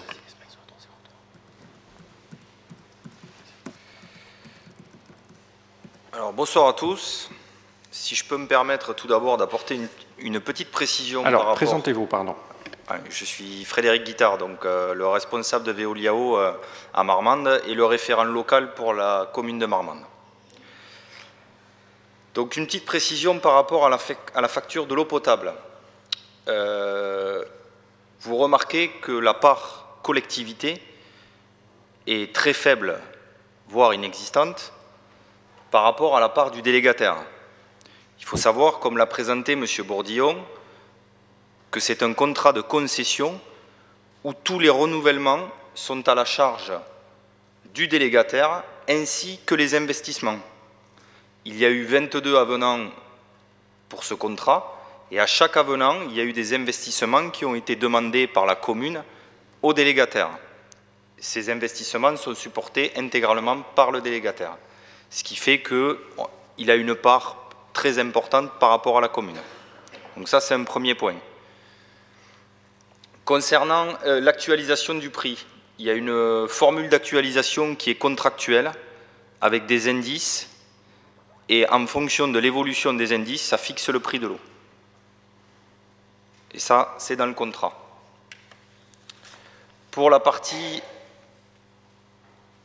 alors si on regarde là, concernant l'augmentation, euh, ce qui joue un petit peu aussi, c'est la préservation des ressources qui augmente de 22%.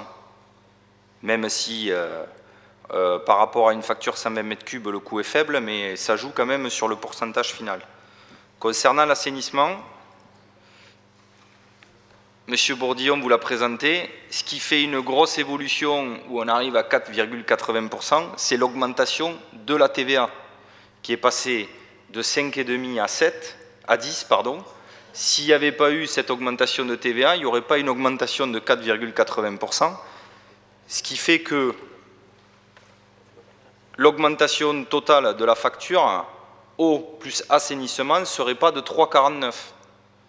Elle serait certainement de l'ordre de 2,5, 2,50, 2,60. Pour le contrat d'assainissement, idem que le contrat d'eau potable, il y a une formule d'actualisation dans le contrat qui fixe le prix chaque année suivant les indices.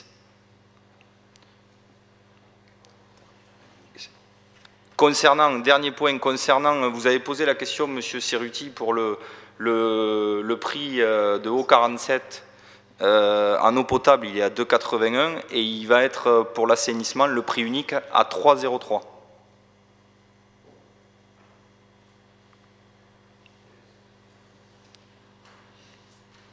Très bien, je vous remercie. Oui, Monsieur Labarna. Oui, les indices sont toujours des formules mathématiques qui sont difficilement appréciables. Effectivement, il faudra, dans le cadre du renouvellement du contrat, être très vigilant là-dessus parce que c'est vrai que, bon, quand on contracte un indice, euh, difficile est, de savoir effectivement la valorisation. Voilà. Donc ça, c'est quand même un point qui paraît assez négatif parce que vous êtes les seuls quelque part à maîtriser le sujet. Euh, alors, pour, répondre à votre question, vous avez raison. C'est vrai qu'on peut difficilement... Euh, on, met dans la formule des indices, mais qu'on ne maîtrise pas. Il peut y avoir très bien une baisse de ces indices, et c'est arrivé, vous pouvez le, vérifier, en 2011, je crois 2010 ou 2011, il y avait une baisse du prix de l'eau, parce que les indices avaient baissé. C'est très rare, je vous l'accorde. On ne maîtrise pas donc ces indices, euh, mais il faut bien qu'on fasse, fasse évoluer le tarif. Donc à un moment donné, il faut choisir des indices. Effectivement, euh, euh, lors du renouvellement, il faudra bien, les identifier. Quoi qu'il en soit aujourd'hui, effectivement, on ne peut pas jouer là-dessus et on sera vigilant euh, pour, les renouvellements.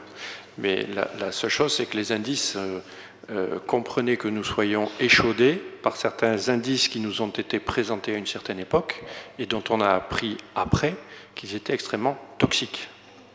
Si vous voyez ce que je veux dire. Je parle de financement et d'emprunt.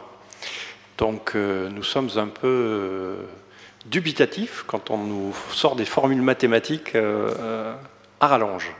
Donc nous regarderons les formules mathématiques. Alors souvent, et, pour vous donner une petite information, souvent quand vous relancez une délégation de service public ou n'importe quel mode de gestion, vous prenez un bureau d'études qui vous assiste. et en général, la formule d'actualisation, c'est le bureau d'études qui vous la prépare. Ce n'est pas le délégataire qui est choisi au final qui choisit la formule. C'est le bureau d'études qui vous assiste pour constituer la formule. Très bien, je vous remercie de toutes ces précisions. Est-ce qu'il y a des questions particulières? Pas de questions? Bien, je vous propose de, de voter donc, pour le dossier numéro 3 Partie nord, partie sud. Ah non, nous prenons acte, pardon, il n'y a pas de vote, excusez-moi. Nous prenons acte juste effectivement pour, euh, pour ces dossiers-là. Je vous remercie, messieurs.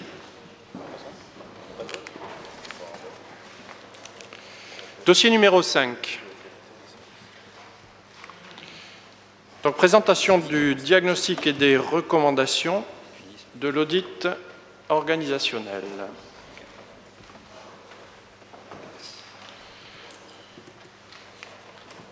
Vous le savez, il y a un audit organisationnel a été effectué. Euh, il a commencé donc cet été, il, s'est terminé il y a à peu près trois semaines euh, sur l'ensemble de notre administration communale. Euh, l'objectif de cet audit, nous en avons déjà parlé, mais il était extrêmement clair, c'était de vérifier qu'aujourd'hui, l'organisation, l'architecture de l'administration communale était euh, en adéquation avec les missions de service public que nous lui définissons et avec le projet politique euh, que nous présentons à la population. On peut commencer. Allez-y. Donc c'est un audit organisationnel euh, qui a permis d'abord de mettre en place un diagnostic et qui va proposer un nouveau schéma de fonctionnement tout en maintenant un haut niveau de service. Ça a été notre préoccupation permanente, c'est de garantir un service efficace à la population. Il va donc proposer des améliorations des processus, une simplification des procédures et il prépare aussi à la mutualisation avec Val-de-Garonne Agglomération dans un contexte financier que vous connaissez tous et euh, avec un engagement qui est celui de ne pas augmenter la pression fiscale durant la mandature. La méthodologie. Il y a d'abord eu donc une enquête de climat social auprès des agents. Une, une enquête extrêmement précise avec un questionnaire fourni et euh, plus de 50% des agents ont répondu à ce questionnaire. Ensuite, il y a eu une analyse documentaire sur la base donc, des documents euh, de l'administration communale et ensuite la réalisation d'entretiens individuels. Parmi ces entretiens, la réunion de cadrage évidemment avec moi-même, avec le premier adjoint, avec la direction générale des services, la réalisation d'entretiens individuels auprès des, diverses directions et des chefs de service de l'administration communale, et ensuite, pour la préparation à la mutualisation, entretien avec le directeur général des services de Val-de-Garonne Agglomération, et en interne également avec le délégué du personnel. Le vécu des agents. Il y a deux, notions extrêmement importantes. Euh, il y a un sentiment de fierté de travailler pour notre commune, euh, qui est exprimé par les agents. Et euh, ce sentiment de fierté est quasi général. C'est quelque chose qui revient en permanence. Donc il y a, il y a une véritable volonté de nos agents d'être au service des Marmandais. Et ça, c'est une constante dans leur réponse. Il y a en revanche des points très négatifs qui sont surtout la communication entre les services. Euh, chaque service travaille de manière extrêmement indépendante et cloisonnée. Et la demande de la grande majorité des agents, c'est de savoir qui fait quoi dans les autres services. C'est-à-dire qu'il faut qu'on nous mettions en place, que nous réfléchissions à un système d'information interservice, d'information transversale, puisque euh, sinon chacun évolue en vase clos et ce n'est pas, pas très représentatif d'une mission d'intérêt général pour notre commune. Pour ce qui concerne la carrière, là aussi il y a des attentes qui sont relativement fortes. Il y a, il y a un, vécu qui est, euh, qui est très négatif pour ce qui concerne le régime indemnitaire, qui paraît complexe, euh, qui paraît opaque et dans les réponses que nous avons, euh, très clairement, le manque d'équité, le manque de justice est souvent évoqué. Donc ça sera à nous de mettre en place un, système donc, de régime indemnitaire, un système de, primes qui nous permettra effectivement de pallier à ces défauts. Il y a aussi la formation qui crée un problème auprès de nos agents. Nous, nous souhaiterions euh, modifier les priorités de gestion de notre commune. Les agents souhaiteraient être davantage impliqués dans leur, euh, dans leur formation, dans leur profil de formation, dans leur profil professionnel. Eh bien, nous allons mettre en place un outil qui va nous permettre de clairement communiquer sur nos désirs euh, de formation des agents et qui va permettre aux agents de repérer les carrières qui pourraient leur être ouvertes ou les fonctions qui pourraient leur être ouvertes. Et donc dans ce sens-là, il y aura une véritable adéquation entre l'offre et la demande qui nous permettra de faire évoluer certains agents en fonction de leurs aspirations. Il y a des, services qui ont été jugés, enfin dont la compétence a été jugée un petit peu limite. Donc nous y répondrons aussi. Et certains sont sous-dimensionnés en effectifs. Donc là aussi, nous aurons des, des, réponses à apporter. Vous le voyez, tout ceci se fait en totale transparence et nous avons véritablement repris les données in extenso de la société Calista qui a euh, effectué cet audit. Il y a une culture managériale qui est à revoir, puisqu'elle est variable en fonction, effectivement, euh, et ça c'est un peu humain, hein, en fonction des, directions et, des services. Euh, mais il y a surtout une culture qui n'est pas très partagée. Donc nous allons mettre en place un système de, de projets de service, de projets de direction, de manière à ce que l'ensemble des agents de chaque service soient clairement informés des grands axes à suivre, des projets de son service et qui s'intègrent dans ce projet global de son service. Alors je vous l'ai dit tout à l'heure, le, fonctionnement est un petit peu en silo, c'est ce, qui, euh, explique donc le manque de communication entre les différents services et entre les fonctions opérationnelles. Pour ce qui concerne donc l'organisation générale, le schéma organisationnel aujourd'hui ne semble pas adapté à la réactivité que nous sommes en droit d'attendre pour notre projet municipal. Nous voulons, nous voulons une direction qui soit resserrée, nous voulons, des directions opérationnelles et des directions fonctionnelles qui soient très rapidement mobilisables et qui sachent répondre euh, très vite à nos demandes. Et donc en cela, nous allons vous proposer tout à l'heure euh, des propositions, des, euh, des réorganisations des, des, grandes directions qui répondront donc à cette exigence. Et surtout, il va y avoir, vous le savez, le schéma de mutualisation entre la ville et Val-de-Garonne agglomération, qui cible prioritairement les fonctions support et les services techniques. Euh, c'est donc une, une nécessité, c'est rendu obligatoire par la loi.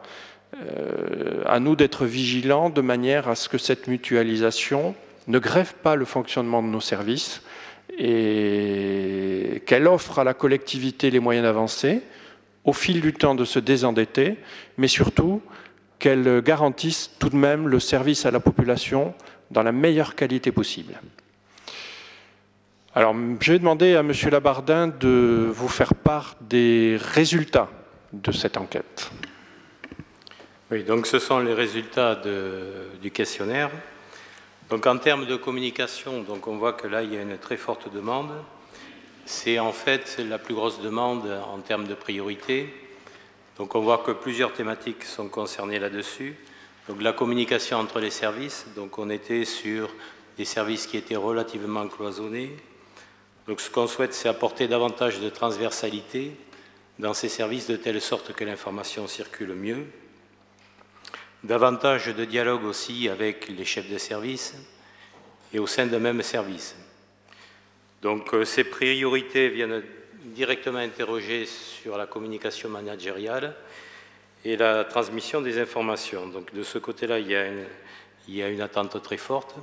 Ça veut dire que aussi il y aura des actions à mener au niveau euh, de la, situation managériale de l'ensemble des directions et de l'ensemble des, euh, des, responsabilités. Voilà. Je crois que ça, c'est important et c'est ce qui est exprimé. En termes maintenant de reconnaissance, là aussi, une occurrence négative très forte. Plusieurs demandes donc, sont regroupées sur cette thématique. En premier lieu, donc, davantage de valorisation du travail qui est accompli, sans que soient précisées les formes que devait prendre cette reconnaissance grâce notamment à la reconnaissance du mérite et des résultats obtenus.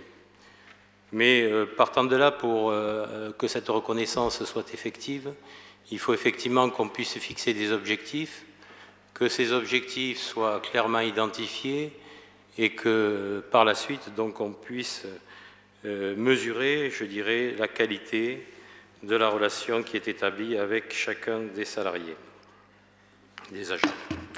Concernant maintenant le fonctionnement des services et la compétence des agents, donc une occurrence forte, c'est euh, l'une des seules thématiques qui aborde très directement les thèmes relatifs à l'organisation dans son ensemble et moins le climat interne ou la relation managériale. Donc concernant le, fonctionnement des services, comme je le disais tout à l'heure, il est impératif qu'il y ait un projet, euh, il y a un projet par euh, service euh, pour l'année par exemple 2015 et qu'à travers de tout ça, il y a une planification des tâches qui soit mise en place. Clairement, aujourd'hui, effectivement, il y avait des situations où les interventions se faisaient au fil de l'eau et effectivement, aujourd'hui, on a un souci impératif de planifier l'ensemble des interventions qui sont faites et donc on demandera et on a demandé aux chefs de service de faire en sorte que l'on puisse avoir je dirais, leur projet pour 2015 que l'on étudiera plus précisément de façon à valider par rapport aux projets politiques et aux orientations que nous prenons. Ensuite, la relation avec les élus. donc, plus de proximité, une meilleure connaissance. Euh, donc, comme on le disait tout à l'heure, la définition claire des, objectifs, du mandat et des orientations des élus, ça je crois que c'est important. Vous avez vu qu'il y a un certain nombre de priorités pour la mandature qui ont été fixées. Il est important que par rapport à ces enjeux, euh, il est important que par rapport à ça, on décline un certain nombre d'objectifs et qu'on les traduise aussi au niveau du fonctionnement des différents services. Concernant les moyens financiers locaux, donc euh, la demande euh, regroupe plusieurs thématiques, une augmentation des moyens financiers humains, c'est évoqué de façon générique. Là, il s'agit plutôt euh, de ne pas augmenter donc, le nombre d'agents, mais par contre de déployer, je dirais, de déployer un certain nombre de moyens euh, en fonction des besoins qui sont exprimés. Voilà, donc on sera amené à faire un certain nombre de propositions concrètes à ce sujet. Bon, après, une amélioration du matériel et des conditions du travail, ainsi que des locaux. Donc il est prévu, et vous le verrez tout à l'heure dans la déclinaison qui est faite au niveau de l'organisation, c'est que l'on souhaite que, en fait, dans les différents pôles, euh, les services puissent se regrouper de façon à travailler dans une meilleure efficience et en parfaite euh, coordination. Ensuite, les primes. Euh, donc, il s'agit évidemment de voir, même s'il y a des, si euh, les avis sont clairement négatifs sur la transparence du, dispositif. Donc, nous, ce qu'on souhaite, c'est apporter une transparence sur le régime indemnitaire. donc, il est clair que par rapport à ça, eh effectivement, nous ferons un certain nombre de propositions et d'évolutions certainement de façon à ce qu'effectivement, il y a beaucoup de choses qui se disent là-dessus et euh, il est important que la transparence se fasse parce qu'il y a beaucoup d'informations fausses qui circulent là-dessus. Donc voilà, donc on fera en sorte que la transparence soit meilleure. Le contrôle, euh, donc deux sujets, le contrôle des arrêts de travail euh, occurrence positive faible, donc euh, deux sujets, le contrôle des arrêts de travail et le contrôle du travail réalisé. Voilà, donc par le responsable hiérarchique, contrôle de ce qui est fait, bien sûr, par rapport aux objectifs qui sont assignés. Là aussi, on voit que le nombre d'arrêts de travail est, parfois important, donc il faudra effectivement qu'on se penche sur les raisons de ces arrêts de travail et qu'on voit s'il y a des solutions à apporter. Et je pense que dans la mesure où le personnel se sent intégré et responsabilisé, effectivement, on peut améliorer euh, le nombre d'arrêts de travail dans la mesure où les gens sont davantage intégrés dans une démarche, responsabilisés et formés aussi, euh, euh, je dirais, à leur, objectif et à leur, à leur situation de travail. Voilà, concernant les points clés, bon, c'est une redite, mais c'est effectivement une synthèse aussi. C'est l'image de la collectivité employeur globalement et, relativement bonne.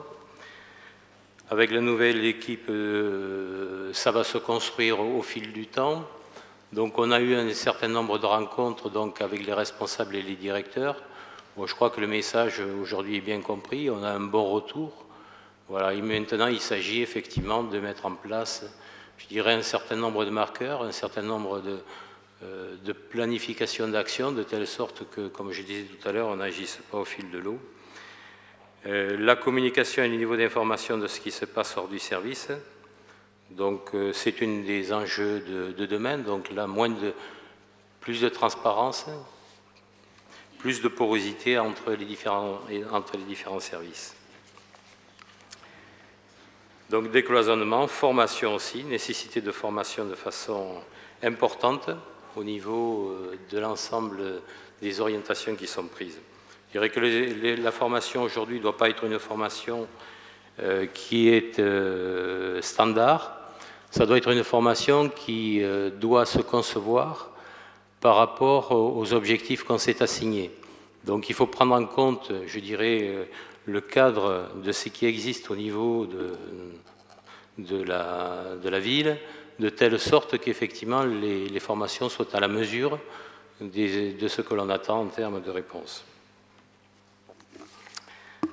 Voilà, autre point clé, donc, euh, qui reprend ce qu'on disait tout à l'heure, un fort sentiment d'inéquité et principalement à une très faible visibilité sur les règles du dispositif de reconnaissance. Donc, euh, on l'a vu tout à l'heure, ça concerne essentiellement le régime indemnitaire. Voilà, et évidemment, un certain nombre de résultats renvoient également au fait que les services de la mairie ne sont pas dans une culture de management par objectif. Alors effectivement, ça c'est un chantier important. Hein. Donc on va se fixer un certain nombre d'objectifs.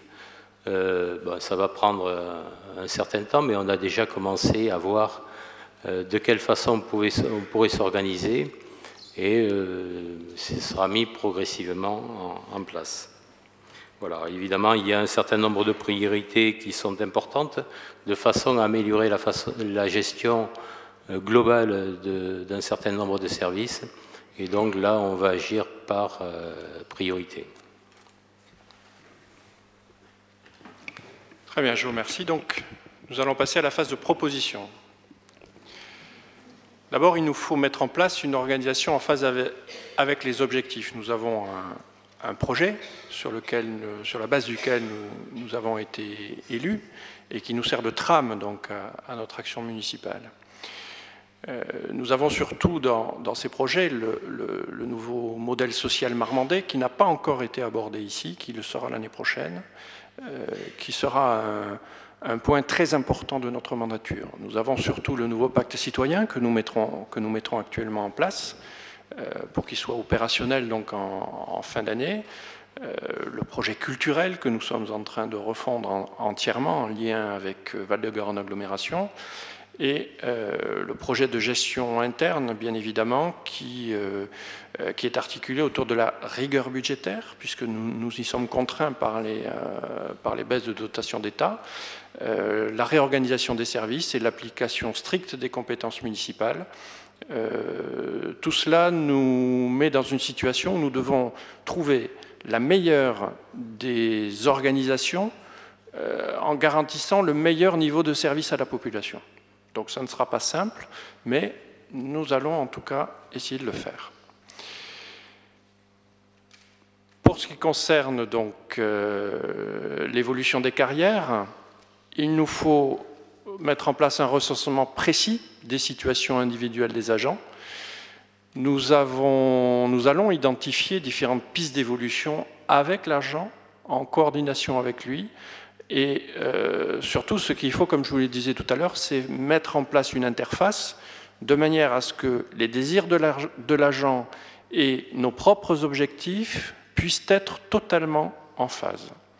Donc c'est un véritable bilan de compétences professionnelles qui sera mis en place individuellement et avec la construction d'un plan d'action individuel avec une formalisation de sa fiche de poste. Et tout, ceci se fera véritablement en lien direct avec l'agent. Donc c'est un, énorme travail au niveau des ressources humaines qu'il nous faudra conduire. Voici donc les propositions d'organisation euh, auxquelles nous avons réfléchi. Vous auriez donc une direction générale des services qui interviendrait au-dessus de quatre pôles essentiels qui sont le pôle ressources, le pôle service à la population, le pôle cadre de vie et le pôle technique. Se grèvent directement sous la direction générale des services les affaires sociales et le CCAS, puisque euh, c'est une structure à part, Marmande Tranquillité, et la mission développement durable centre-ville et cœur de vie, c'est-à-dire euh, euh, tous les projets qui sont actuellement en cours. En parallèle à cette direction générale des services, le cabinet, avec la communication reliée directement au cabinet. Pour ce qui concerne pôle par pôle ensuite, le pôle ressources aurait sous sa responsabilité la direction des ressources humaines, la direction des finances, la direction de l'informatique et la direction de la commande publique. Pour le pôle service à la population, il y aurait sous sa coupole service état civil, direction des sports, direction de la culture, direction de l'éducation, direction de la citoyenneté. Dans le pôle cadre de vie, l'ensemble des questions d'urbanisme et d'eau et d'assainissement. Et dans le pôle technique, il y aurait le centre technique municipal, avec la gestion du magasin, les espaces verts, la propreté, le bureau d'études et directement relié à la direction, toute la direction administrative et financière et l'accueil du magasin. Voilà, c'est une simplification en fait de l'architecture de l'administration communale qui doit mettre en phase le service à la population et le projet de mandature. Cela nous permettra de renforcer la culture du management par objectif, de mettre en place une démarche de dialogue de gestion. Donc il y aura, je vous l'ai dit, des projets de service qui seront discutés dans ce, dans ce cadre-là. Cela nous permettra aussi de favoriser le dialogue entre les élus et les agents, de responsabiliser chacun à son niveau sur les résultats à atteindre, de construire une vision globale et intégrée de l'ensemble des missions et des activités d'un service et de lui donner un sens qui sera donc euh, affirmé auprès de chaque agent de notre administration. Et il nous faudra renforcer le sentiment d'appartenance à cette collectivité, tout en déclinant des objectifs individuels en lien avec les objectifs de la, de la direction. Donc carrière personnelle et objectif général du service à la population doivent se trouver en phase. Voilà pour le, les propositions donc que nous allons très rapidement mettre en place. Ça, c'est le grand cadre. Nous allons maintenant travailler service par service pour essayer de trouver à l'intérieur de chaque direction la manière la plus opportune de travailler toujours en direction de la population. Est-ce que vous avez des questions? J'avoue que c'est un dossier difficile. Hein, euh.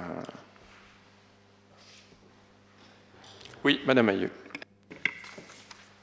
Juste un petit commentaire.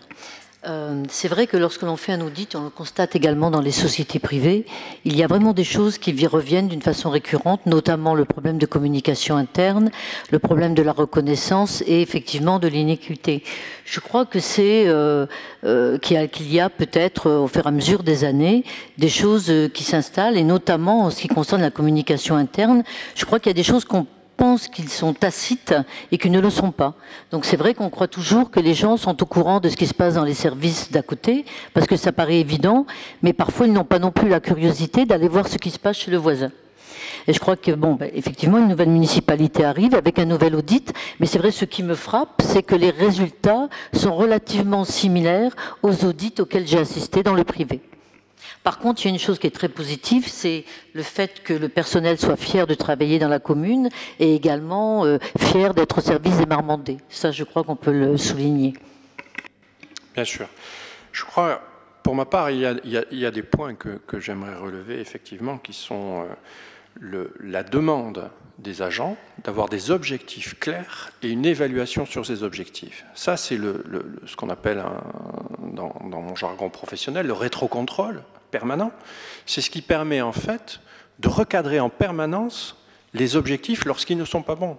Et c'est vrai que avoir un projet de service et systématiquement l'évaluer au fil du temps, au fil des réalisations, ça permet à chaque agent de s'impliquer dans le sens de son service et, d'être en, en, phase avec l'ensemble de son service. Alors après, je ne vous dis pas que ça va être facile, de remettre la communication entre les services. Parce que ça, ça sera beaucoup plus difficile. Alors, je sais que les agents ont, remis en place leur, euh, leur petit organe de communication interne, leur, euh, euh, petite feuille de chou, ce qui est une très très bonne chose parce que ça leur permet d'avoir des informations permanentes sur les autres services, sur, sur l'état civil, des choses toutes bêtes. Mais au moins, ils ont un, petit organe de communication interne. je sais aussi que leur association, l'amicale, repart. Donc il y, a, véritablement une envie de, euh, de communiquer à nouveau, de se remettre au service d'eux-mêmes, en fait, et ça, je trouve que c'est une très bonne chose.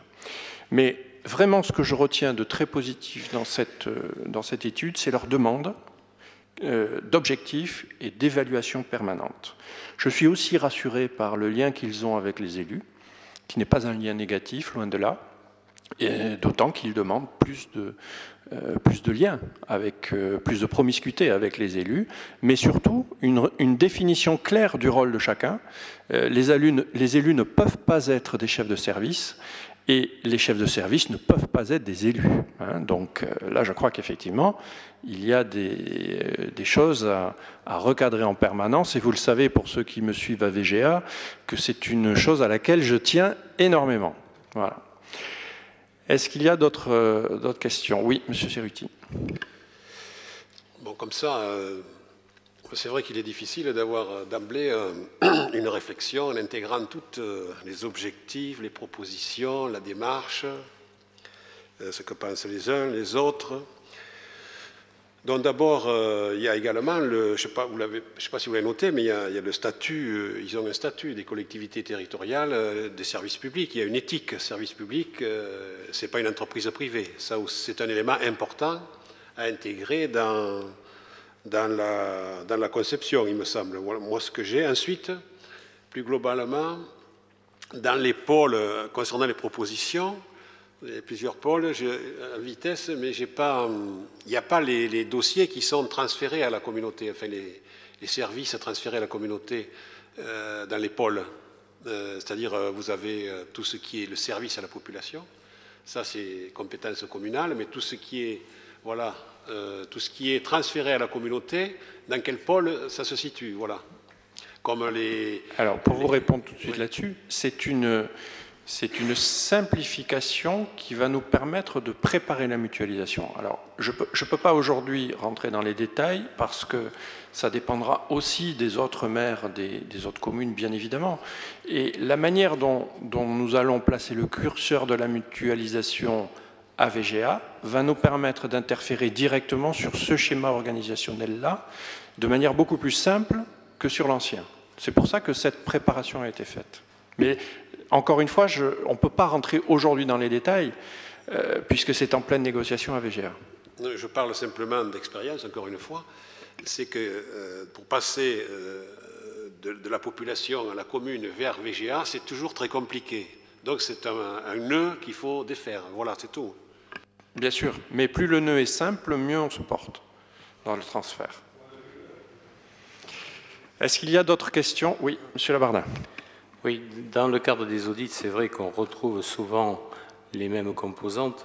Au-delà de tout ça, ce qui est important, c'est effectivement les, applications derrière que l'on met en place, parce qu'effectivement, il y a un certain nombre d'habitudes qui se prennent, et effectivement, il faut structurer davantage. On l'a vu euh, cet été au niveau d'un certain nombre d'interventions. Il est vrai que le fait qu'il n'y ait pas suffisamment de procédures, qu'il n'y ait pas une planification du travail, ça entraîne un certain nombre de dysfonctionnements. Et je crois que les, agents sont intéressés par la démarche de façon effectivement qu'on travaille aussi de façon plus structurée et dans de meilleures dispositions. Voilà. Donc ce qui est important au-delà de, des préconisations qui sont faites, c'est derrière ce qui est mis en place, les orientations qui sont prises et les objectifs qui sont définis et les projets que peuvent proposer, donc, parce qu'on responsabilise aussi les chefs de service et les directeurs, dans les projets qu'ils peuvent présenter. Voilà. Donc on leur demande aussi de faire œuvre créatrice en proposant un certain nombre aussi, en faisant un certain nombre de propositions pour euh, l'année à venir et éventuellement pour les années à venir. Voilà. Merci. Est-ce qu'il y a d'autres questions? Oui, Monsieur Silière. Oui, c'était surtout une demande de, précision. Est-ce qu'il serait possible d'avoir quelques, quelques, données chiffrées, par, par exemple, par rapport euh, au, taux de participation euh, Plus de 50%. Voilà. Un peu plus de 50%. Et après, sur les, les- quand on parle d'occurrences faibles, fortes, moyennes, ça Alors, les, correspond o- à quel... les o- euh, les occurrences, on n'a pas pu mettre toutes les questions. Les occurrences, ce n'est pas la fréquence de réponse. Les occurrences, c'est euh, est-ce que ça la réponse correspond à la question posée ou pas? Et donc, on- comme on ne pouvait pas mettre toutes les questions, moi, ce que je vous propose, c'est dès qu'on aura finalisé un document qui reprend le détail de cette enquête, c'est de le vous le faire passer à tous. Et là, vous aurez toutes les questions qui ont été posées. Il y en a, voir l'impact il y en a un grand nombre. Il y en a beaucoup. Voilà, dernier point que je voulais aborder euh, sur, ce, sur cet audit, c'est euh, concernant le contrôle des arrêts de travail. Vous avez vu un petit, euh, truc, euh, une petite euh, mention à un moment. Euh, attention, il n'est pas de notre fait de contrôler les arrêts de travail. Euh, c'est la demande en fait de certains agents de voir pourquoi il y a des arrêts de travail. Et je crois qu'effectivement, c'est une question que nous devons nous poser, parce que nous avons deux fois plus d'arrêts de travail dans notre collectivité que par exemple au centre hospitalier, puisque pour être euh, euh, président du conseil de surveillance, je, suis les dossiers des deux, euh, entités, ça pose quand même des questions. Ça veut dire qu'il y a des raisons, ces raisons, il faut les identifier et il faut y apporter des solutions. Voilà, donc je, euh, il y a parfois des, des mal-être, euh, c'est à, à nous de définir tout ça, c'est à nous de clairement euh, les mettre en évidence et d'y apporter donc les solutions les plus adaptées. Voilà, oui, Monsieur Cerruti. Donc il faut enlever, enlever le mot contrôle, si c'est identifier les causes. Oui, mais c'est la question qui avait été posée comme ça, en fait. C'est pour ça que je vous ai dit, c'était une restitution brute, hein, on n'a on a touché à rien. Euh, c'est du copier-coller, là. hein. Donc, euh, pour vraiment avoir la transparence la plus complète, et effectivement, nous modulerons ensuite les, choses. hein. Plus de questions? Bien, je vous propose de passer au vote euh, pour ce dossier, et donc d'approuver les préconisations de l'audit. Donc d'abord un vote électronique, si vous le voulez bien.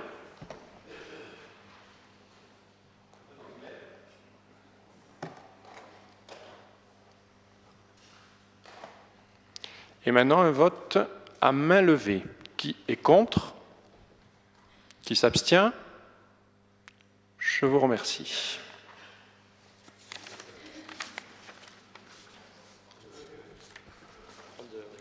Comment? Quelqu'un n'a pas voté, mais quelqu'un a dû partir en cours de séance sans donner de pouvoir, je pense. Ouais. Bien. Dossier numéro 6, comité local d'attribution des aides du Fonds d'aide aux jeunes, désignation du représentant de la commune de Marmande. Donc, conformément aux dispositions de la loi du 13 août 2004 relative aux libertés et aux responsabilités locales, le département de Lot-et-Garonne pilote le Fonds d'aide aux jeunes en difficulté. Le Conseil général a choisi de déléguer la gestion administrative et comptable de trois fonds locaux aux missions locales de Lot-et-Garonne par convention reconduite annuellement. Pour ce faire, il est procédé à la désignation de trois comités locaux d'attribution des aides financières. C'est dans ce cadre que la mission locale de la Moyenne-Garonne se voit déléguer la gestion d'un FAJ. La, présidence de ce comité local est assurée par un conseiller général.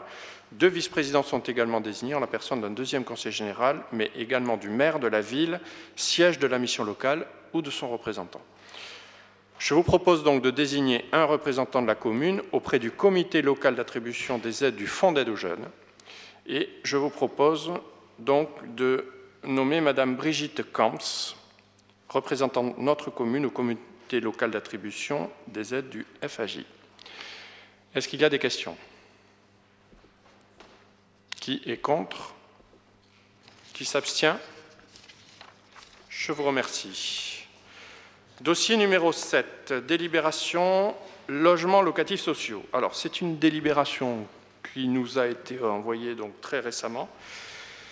Euh, c'est une délibération qui nous a été proposée par la préfecture et que j'ai fait modifier. Que j'ai fait modifier parce que, euh, vous le savez, nous sommes, euh, en retard sur nos constructions de logements sociaux. Ceci est hérité d'une part d'une histoire, puisque pendant quelques années, l'effort a été mis sur la défiscalisation et non pas sur le logement social. Et nous sommes très loin maintenant des chiffres, euh, des objectifs qui sont fixés par la loi SRU. Alors nous avons J'ai donc été auditionné par les services de la préfecture pour savoir euh, quelles étaient les raisons de ce retard et savoir si nous allions être euh, soumis à l'amende pour, pour cet état de fait. Et donc nous attendons les chiffres officiels, mais il semble que le dossier fait que les différentes facettes du dossier aient été comprises et que nous soyons ensuite euh, taxé de manière extrêmement symbolique. Mais nous attendons encore donc les, dernières décisions.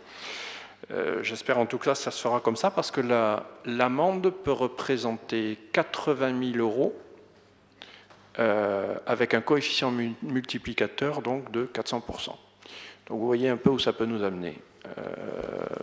bon, j'ai quand même le sentiment qu'on en arrivera bien évidemment pas là. On nous demande une délibération. Nous qui nous permettrait à nous, collectivités, de garantir la construction de ces logements. Il est bien évident que nous ne pouvons pas le garantir. En tant que maire de la commune, je ne peux pas garantir à l'État que dans les trois ans qui viennent, nous allons rattraper notre retard. Ce serait inconsidéré, ce serait une décision qui serait un non-sens, qui ne s'appuierait sur aucune réalité économique, sur aucune réalité sociale, et qui en plus nous mettrait dans une situation tout à fait difficile vis-à-vis euh, des représentants de l'État. Donc je l'ai fait modifier dans le sens que vous l'avez ce soir. Euh, nous décidons de nous engager à mettre en œuvre tous les outils et mesures pour respecter l'objectif fixé par l'État. Nous ne pouvons pas nous engager à respecter l'objectif, mais nous pouvons nous engager à tout faire pour l'atteindre. C'est donc le sens de cette délibération que je vous propose. Est-ce qu'il y a des questions particulières? Pas de questions? Oui, Monsieur Ceruti. Euh, on, est à, on est à 13,82, je crois, ou 14% de, logements sociaux, c'est-à-dire euh, pour 8000 8000 et quelques de logements locatifs. Il y en a 1228, vous avez noté là. Euh, on, a baissé dans le pourcentage, puisque, comme vous l'avez dit, du temps de la défiscalisation, donc on a, eu, on a progressé de, près de 1000 on a construit près de 1000 logements euh, sur la partie Baissac, ce qui a fait monter le nombre de logements privés et dont le pourcentage a baissé. On était plus haut auparavant. C'est le nombre de logements construits il y a combien? Il y a une dizaine d'années, euh, environ, un peu, plus, qui, nous a un peu déstabilisé au niveau du rapport euh, logement social à la population. Mais le dispositif qui est en cours avec l'OPA RU, pour les 80 logements qui vont être euh, réhabilités pour les propriétaires euh, occupants seront intégrés, eux, dans les logements sociaux sur les 5 ans, 4 ans maintenant. 80, il y en aura déjà 80. Donc ça mérite peut-être qu'on ait plus tard un débat quand même sur la politique du logement. Je ne parle pas euh, à partir du réel, quoi. Qu'est-ce qu'on peut, est-ce qu'on peut apporter des propositions dans l'avenir? Alors, le problème qui se pose clairement, c'est qu'effectivement, pendant une période de deux ans, il y a eu exactement 1100 permis de construire au titre de la défiscalisation ou de l'accession à la propriété. Alors évidemment, ça a fait monter le, ratio global, ça, enfin, ça fait baisser le ratio, ça fait monter le déterminant, mais en plus, ça a déstructuré le marché.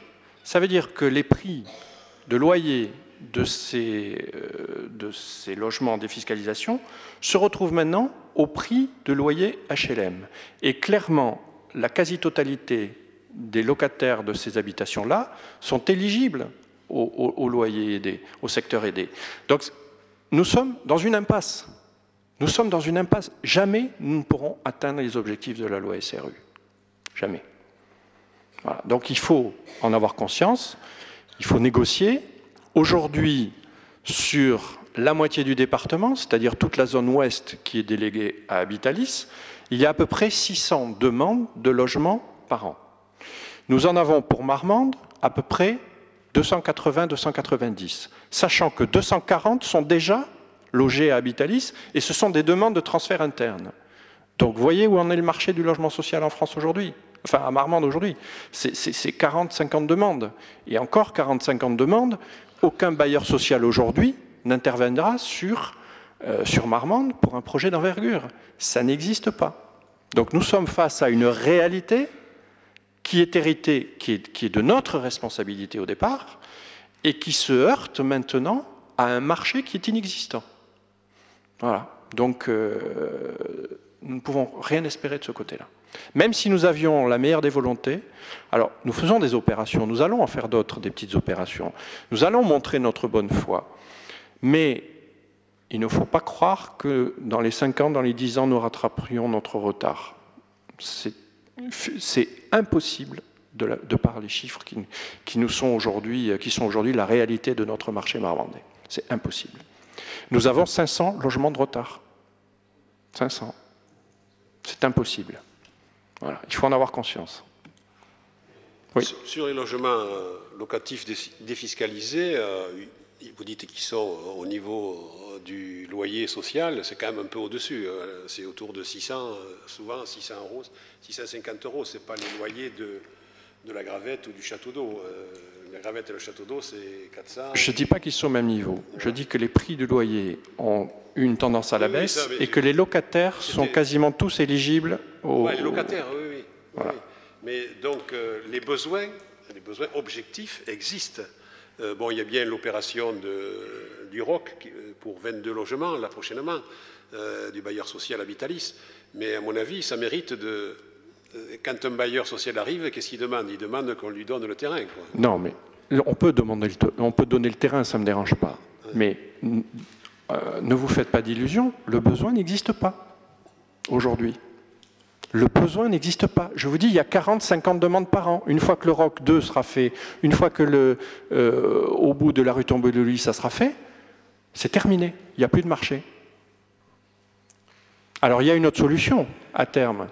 Peut-être faudra-t-il reprendre au titre des logements sociaux tous les appartements qui ont été construits au titre de la défiscalisation. Voilà. Mais ça nécessitera des sommes importantes, ça nécessitera des choix politiques et ça nécessitera surtout d'assumer derrière financièrement. Voilà. Donc, euh, nous ne sommes pas sortis de l'auberge dans ce dossier-là. Ça, mérite de pousser le débat, on ne va pas le faire aujourd'hui, mais vu les revenus de la population, l'étude de, la zone OPA et rue, là, y compris la gravette, etc., nous montre que les besoins, c'est surtout sur PLAI et PLS dont on a besoin, c'est-à-dire ceux qui sont euh, avec des, revenus plus bas. Euh, c'est cela qui manque surtout. Mais à débattre, je crois qu'il faut qu'on gratte un peu plus quand même. Hein. Oui, mais je suis d'accord avec vous, mais en tout cas, pour l'instant, je n'entrevois pas de solution. Euh, nous allons voter sur ce dossier, sur cette délibération. D'abord sur le plan électronique.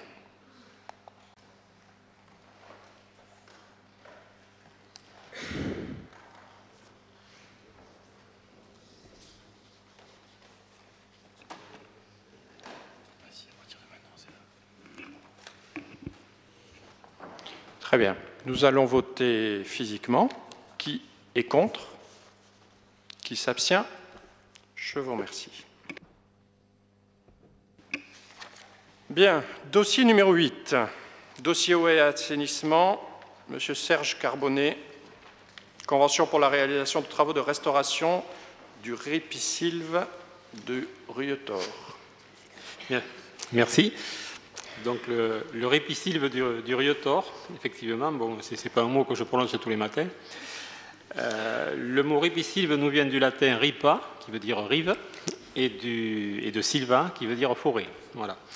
Donc tout simplement, cela signifie la partie boisée, bon, même buissonnée, qui se trouve sur la berge et qu'il faut entretenir, bon, sans pour autant tout détruire, euh, de manière à préserver la qualité naturelle du ruisseau et par même la qualité de l'eau. Riotor, donc c'est un ruisseau qui traverse la commune d'Escassefort et qui longe la commune de Marmande sur 1240 mètres. Nous sommes donc concernés par la restauration de cette longueur et le syndicat intercommunal d'aménagement de la vallée de la Gupie, le SIAV, euh, demande à la mairie de Marmande une participation financière de 754,58 euros. Voilà, donc c'est pour ça que nous allons voter. Est-ce qu'il y a des questions sur ce dossier? Pas de questions? Nous votons de manière électronique.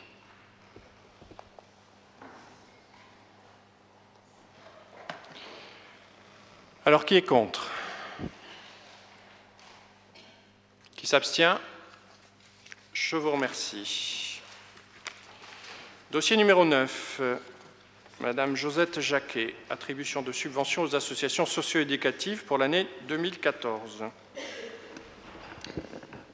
Il s'agit de proposer l'attribution de subventions aux associations socio-éducatives en mesure de produire leur bilan financier et leur compte de l'exercice écoulé.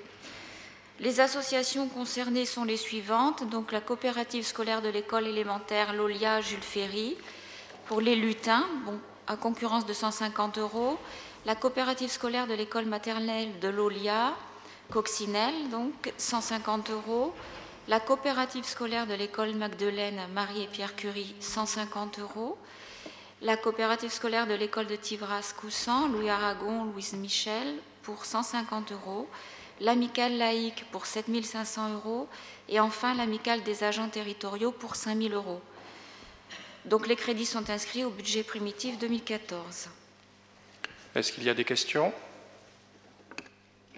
Nous allons voter par voie électronique.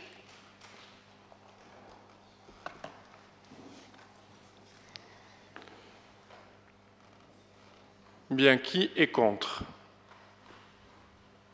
Qui s'abstient? Je vous remercie. Dossier numéro 10 à 13, Monsieur Philippe Labardin.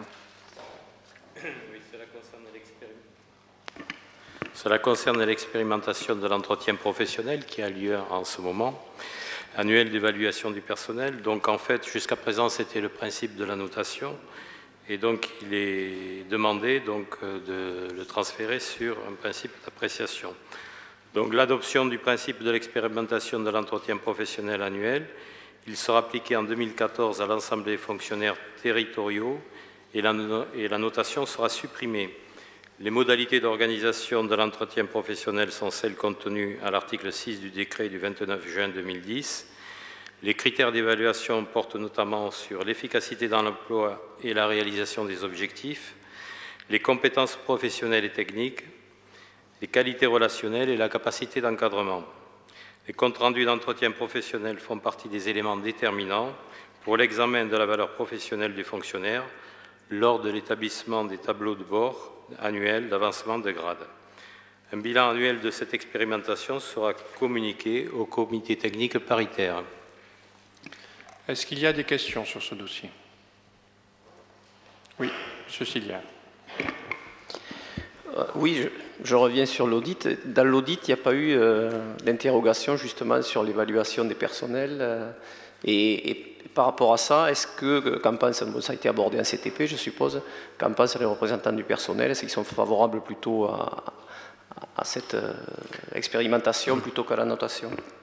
C'est un dossier donc, qui a été euh, présenté au CTP et qui a reçu l'accord de l'ensemble des parties prenantes. Nous allons voter par voie électronique.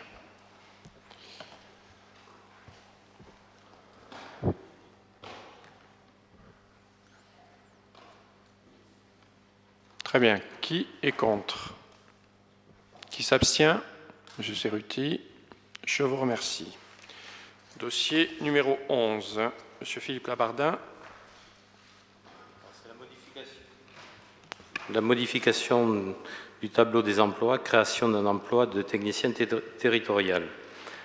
Donc, euh, le conseil municipal, donc, après en avoir délibéré, décide de modifier le tableau des emplois de la ville en créant un poste de technicien territorial à temps complet. Cette mesure prend effet le 1er décembre 2014.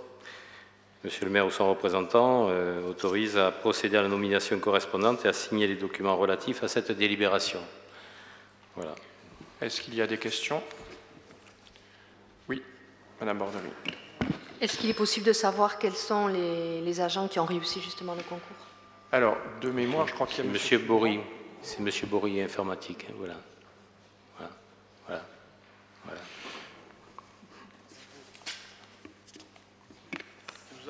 Nous allons donc procéder au vote par voie électronique.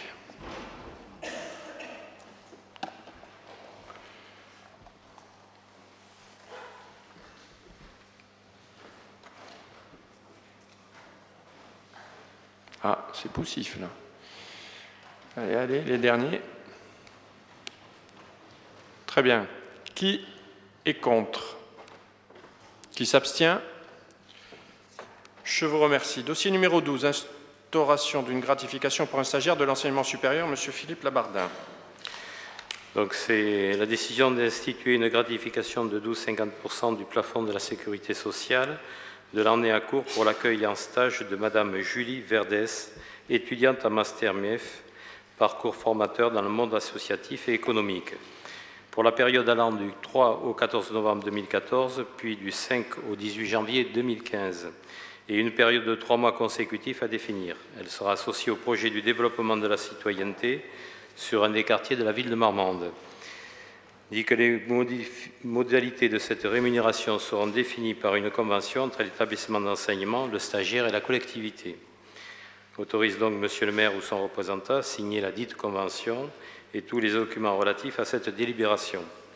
dit que les crédits nécessaires seront prélevés aux articles du chapitre du budget correspondant. Est-ce qu'il y a des questions particulières? Nous allons procéder aux opérations de vote de manière électronique.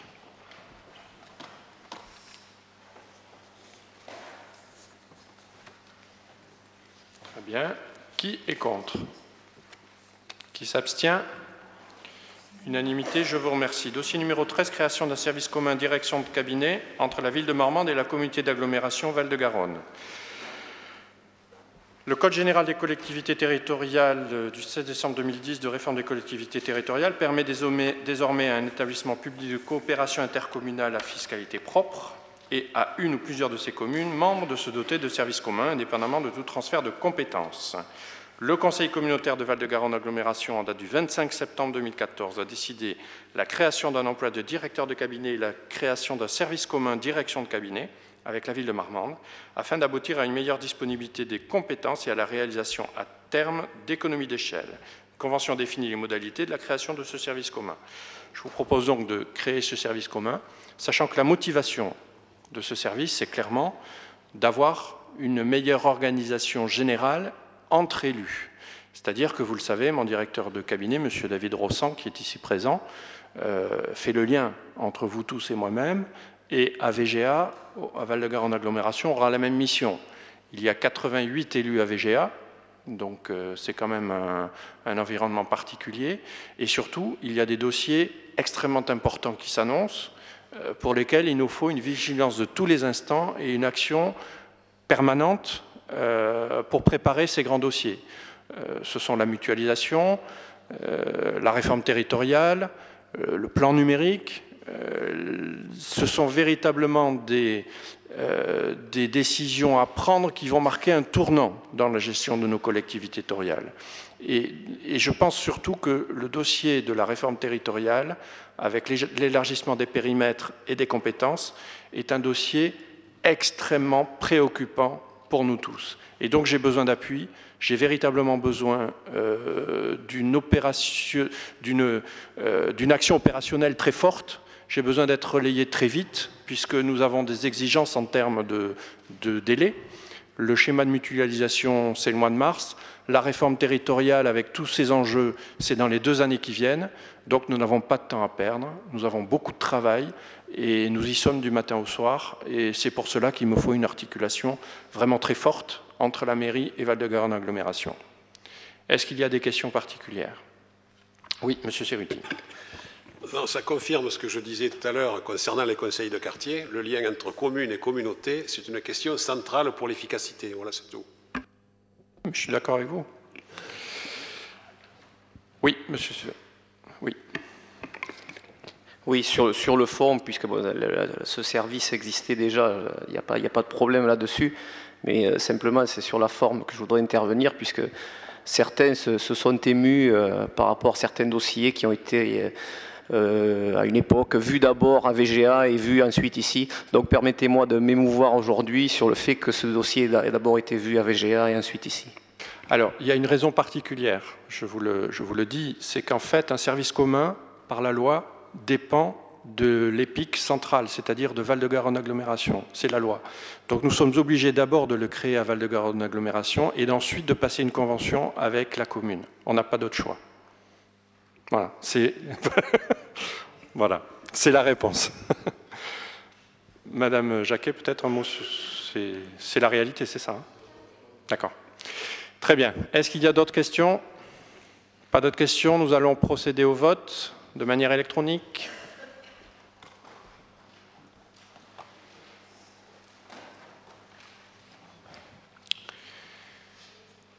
Très bien.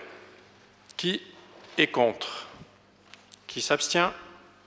Je vous remercie. Vous avez d'ailleurs la convention en annexe. Dossier numéro 14, subvention exceptionnelle pour l'aéroclub de Gascogne, section aéromodélisme. Monsieur Jean-Luc Dubourg. Oui, donc le samedi 26 juillet dernier, nous avons eu donc le championnat du monde d'aéromodélisme qui s'est déroulé donc sur notre commune à l'aérodrome. Euh, le public a bien sûr répondu euh, présent en, masse euh, pour cette, à cette occasion. Cependant, le nombre d'entrées s'est avéré insuffisant afin de combler les dépenses inhérentes aux frais occasionnés par la venue de la patrouille de France. Par conséquent, afin de ne pas mettre en danger les finances de la section aéromodélisme appartenant à l'aéroclub de Gascogne, il est proposé de verser une subvention exceptionnelle et complémentaire de 11 900 euros afin d'équilibrer le compte de résultats défini pour la manifestation. Je voudrais juste faire une petite remarque. Il semblerait qu'à la dernière commission des finances, le Conseil général aurait évoqué le fait de prendre une part de cette dépense. À ce jour, il me semble que nous n'avons eu aucun, retour à ce sujet. Je pense qu'il aurait été opportun que le Conseil général s'implique euh, dans cette dépense. Voilà, tout simplement. Est-ce qu'il y a des questions sur ce sujet? Pas de questions? Nous allons passer au vote électronique en premier.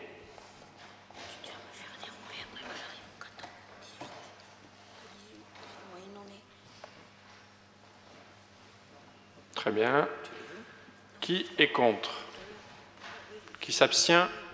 Je vous remercie. Dossier numéro 15 et 16. D'abord, dossier numéro 15, urbanisme, bilan de la concertation et approbation de la modification simplifiée numéro 2 du plan local d'urbanisme, Monsieur Didier Duteil. Oui, alors on va revenir sur le dossier Lisite Creuset. Vous savez qu'en juillet, on a lancé une phase de concertation visant à modifier le PLU concernant la hauteur des fours à sel de la société Creuset. Alors les fours à sel, techniquement, très brièvement, ce sont des tours dans lesquelles on plonge des ailes notamment pour obtenir euh, la fusion des, des, pièces. Voilà. Après, ne m'en demandez pas plus. Si ce n'est qu'aujourd'hui, c'est important, il faut savoir qu'on favorise une meilleure sécurité du site aussi. Ça, je l'ai appris il y a peu.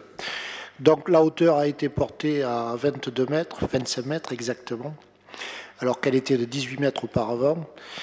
Nous avons lancé une phase de concertation visant à modifier le PLU et aujourd'hui, comme cette phase de concertation n'a fait l'objet d'aucune critique et d'aucune remarque, on, lance la phase d'approbation.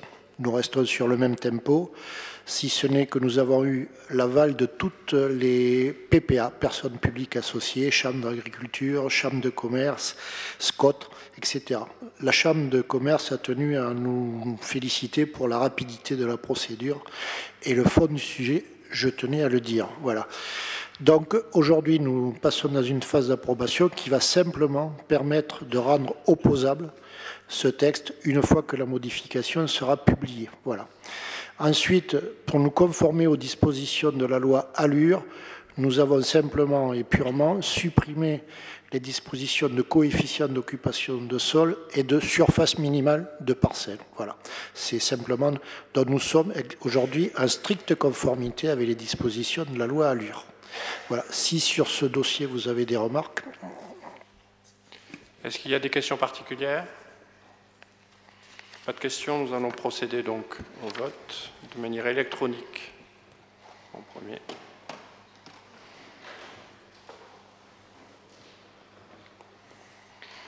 Très bien. Qui est contre? S'abstient? Je vous remercie. Dossier numéro 16, définition des modalités de mise à disposition du public du dossier de modification simplifiée numéro 3 du plan local d'urbanisme. Monsieur Didier Duteil. Oui, nous restons dans le secteur aéronautique et nous sommes satisfaits de pouvoir, à notre niveau, participer euh, au développement de ces sociétés. Alors bien sûr, à notre niveau, c'est beaucoup plus administratif, mais nous essayons d'être assez rapides, très pragmatiques et d'être euh, en conformité avec nos partenaires économiques. Alors ici, j'ouvre une petite parenthèse pour dire que ce dossier n'est pas passé en commission URBA pour une raison très simple. C'est que la commission URBA qui a eu lieu le 8 octobre et qui a duré trois heures et qui a été très intéressante, ne pouvait pas aborder ce dossier parce que nous avons été saisis le lendemain par le sous-préfet en urgence pour un rendez-vous le surlendemain, c'est-à-dire le 10 octobre. Donc aujourd'hui, il y a une phase euh, assez rapide à, faire puisque la société compte déposer et obtenir ses autorisations d'ici la fin de l'année et nous sommes en octobre.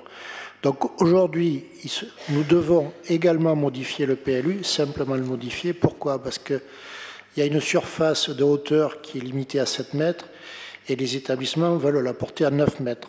Donc nous faisons une demande aujourd'hui pour pouvoir la porter jusqu'à 15 mètres maximum. Euh, ceci va nous permettre de donner un feu vert pour un bâtiment de 2200 mètres carrés. Donc voilà. Donc, ce qui traduit le dynamisme de cette société et qui va euh, sanctuariser un petit peu plus le rôle de Marmande dans l'aéronautique. Voilà. Donc aujourd'hui, nous lançons, comme nous l'avons fait pour l'ISIT Creuset, une phase de modification du PLU avec une concertation. Euh, je tiens à remercier le, sous-préfet qui nous a reçus et qui, de son côté, a certifié le projet. C'est une procédure publique. Il sélectionne quelques projets importants qui figent le projet dans le temps, dans le temps administratif et dans le temps économique. C'est-à-dire que pendant deux ans, ce site-là va être sanctuarisé au niveau de tout ce qui est administratif et financier. Voilà.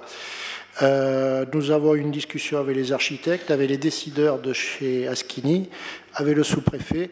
Et je, tiens à féliciter Madame Cartier-Michaud qui a fait preuve d'une très grande connaissance du dossier et une connaissance technique qui m'a un petit peu bluffé en étant. Voilà, je tenais à le dire parce qu'elle a été particulièrement efficace. Voilà. Euh, voilà, donc euh, on vous demande d'approuver cette phase de modification du PLU qui vise à permettre à la société Askini de se développer. Voilà. Merci, Monsieur Duteil. Vous allez la faire rougir. Comment? Est-ce qu'il y a des questions? Pas de questions particulières. Nous allons procéder au vote de manière électronique.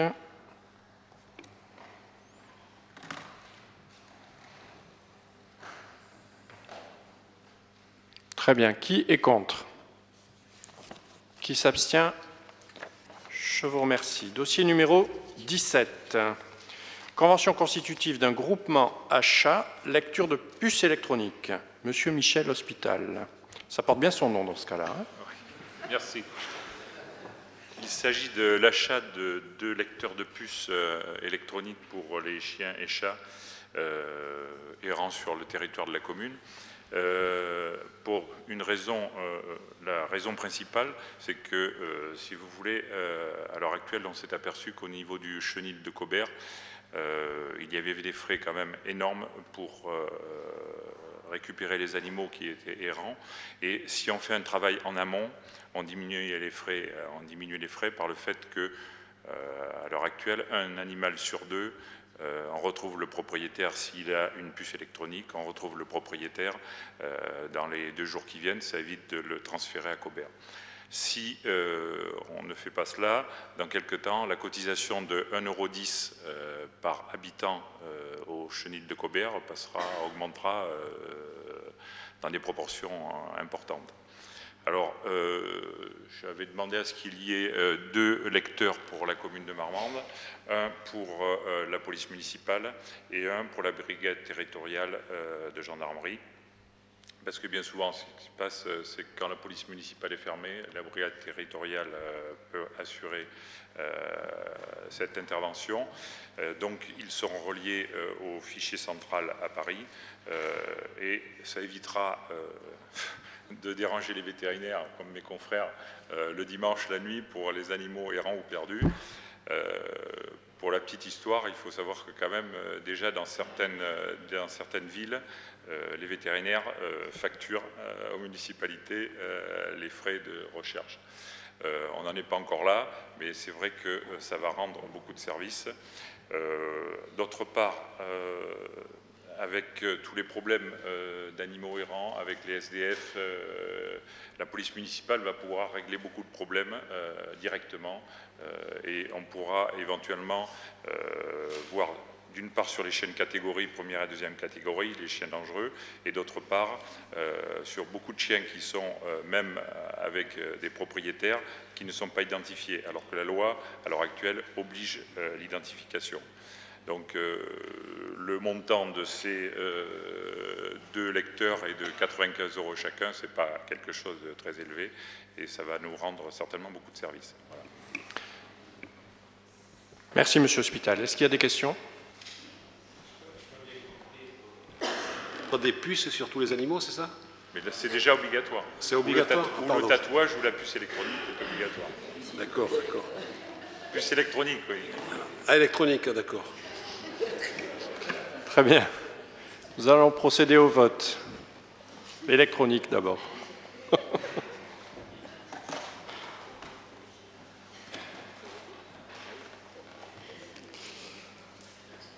Bien, qui est contre? Qui s'abstient?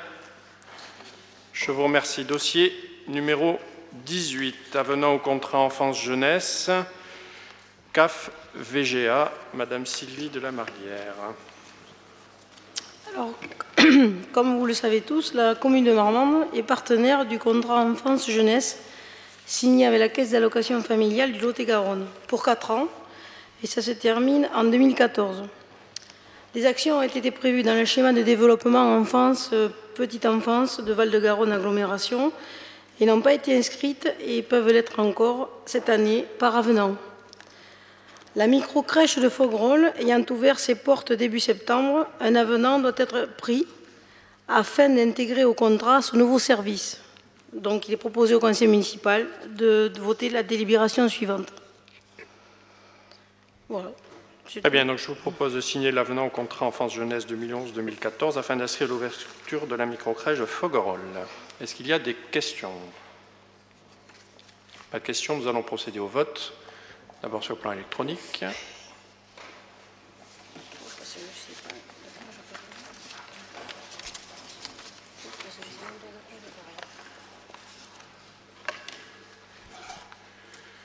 Qui est contre?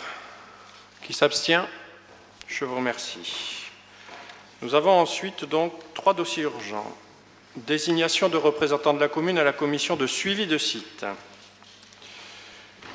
Donc ça, c'est une demande qui nous a été adressée euh, il y a quelques jours. Une commission de suivi de site doit être mise en place autour du CET de Charrier, sur le territoire de notre commune. Cette commission a pour mission de créer un cadre d'échange et d'information entre les différents représentants des collèges énoncés à l'article 2 du décret du 7 février 2012. Elle est également associée à l'élaboration des plans de prévention des risques technologiques et émet un avis sur les projets de plans. Ce même article 2 prévoit que les représentants des collectivités territoriales soient associés à cette commission. Je vous propose donc de, désigner un représentant, M. Bernard Magnier, et un suppléant, M. Roland Christin. Est-ce qu'il y a des questions sur ce dossier? Pas de questions, nous allons procéder au vote, donc de manière électronique.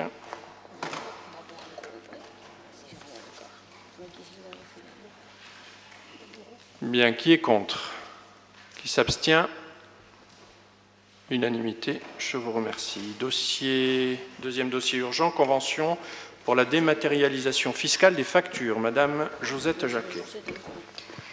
Alors actuellement, les pièces comptables et justificatives sont fournies au receveur municipal en format dématérialisé. Dématérialisé parce que le service des finances numérise toutes les factures papier arrivées au service.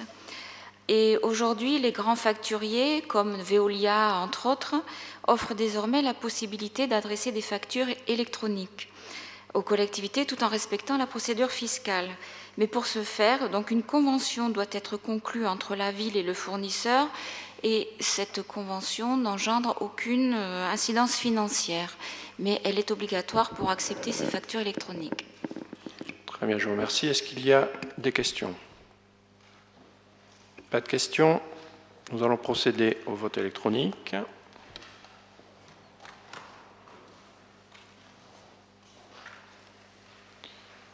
Qui est contre?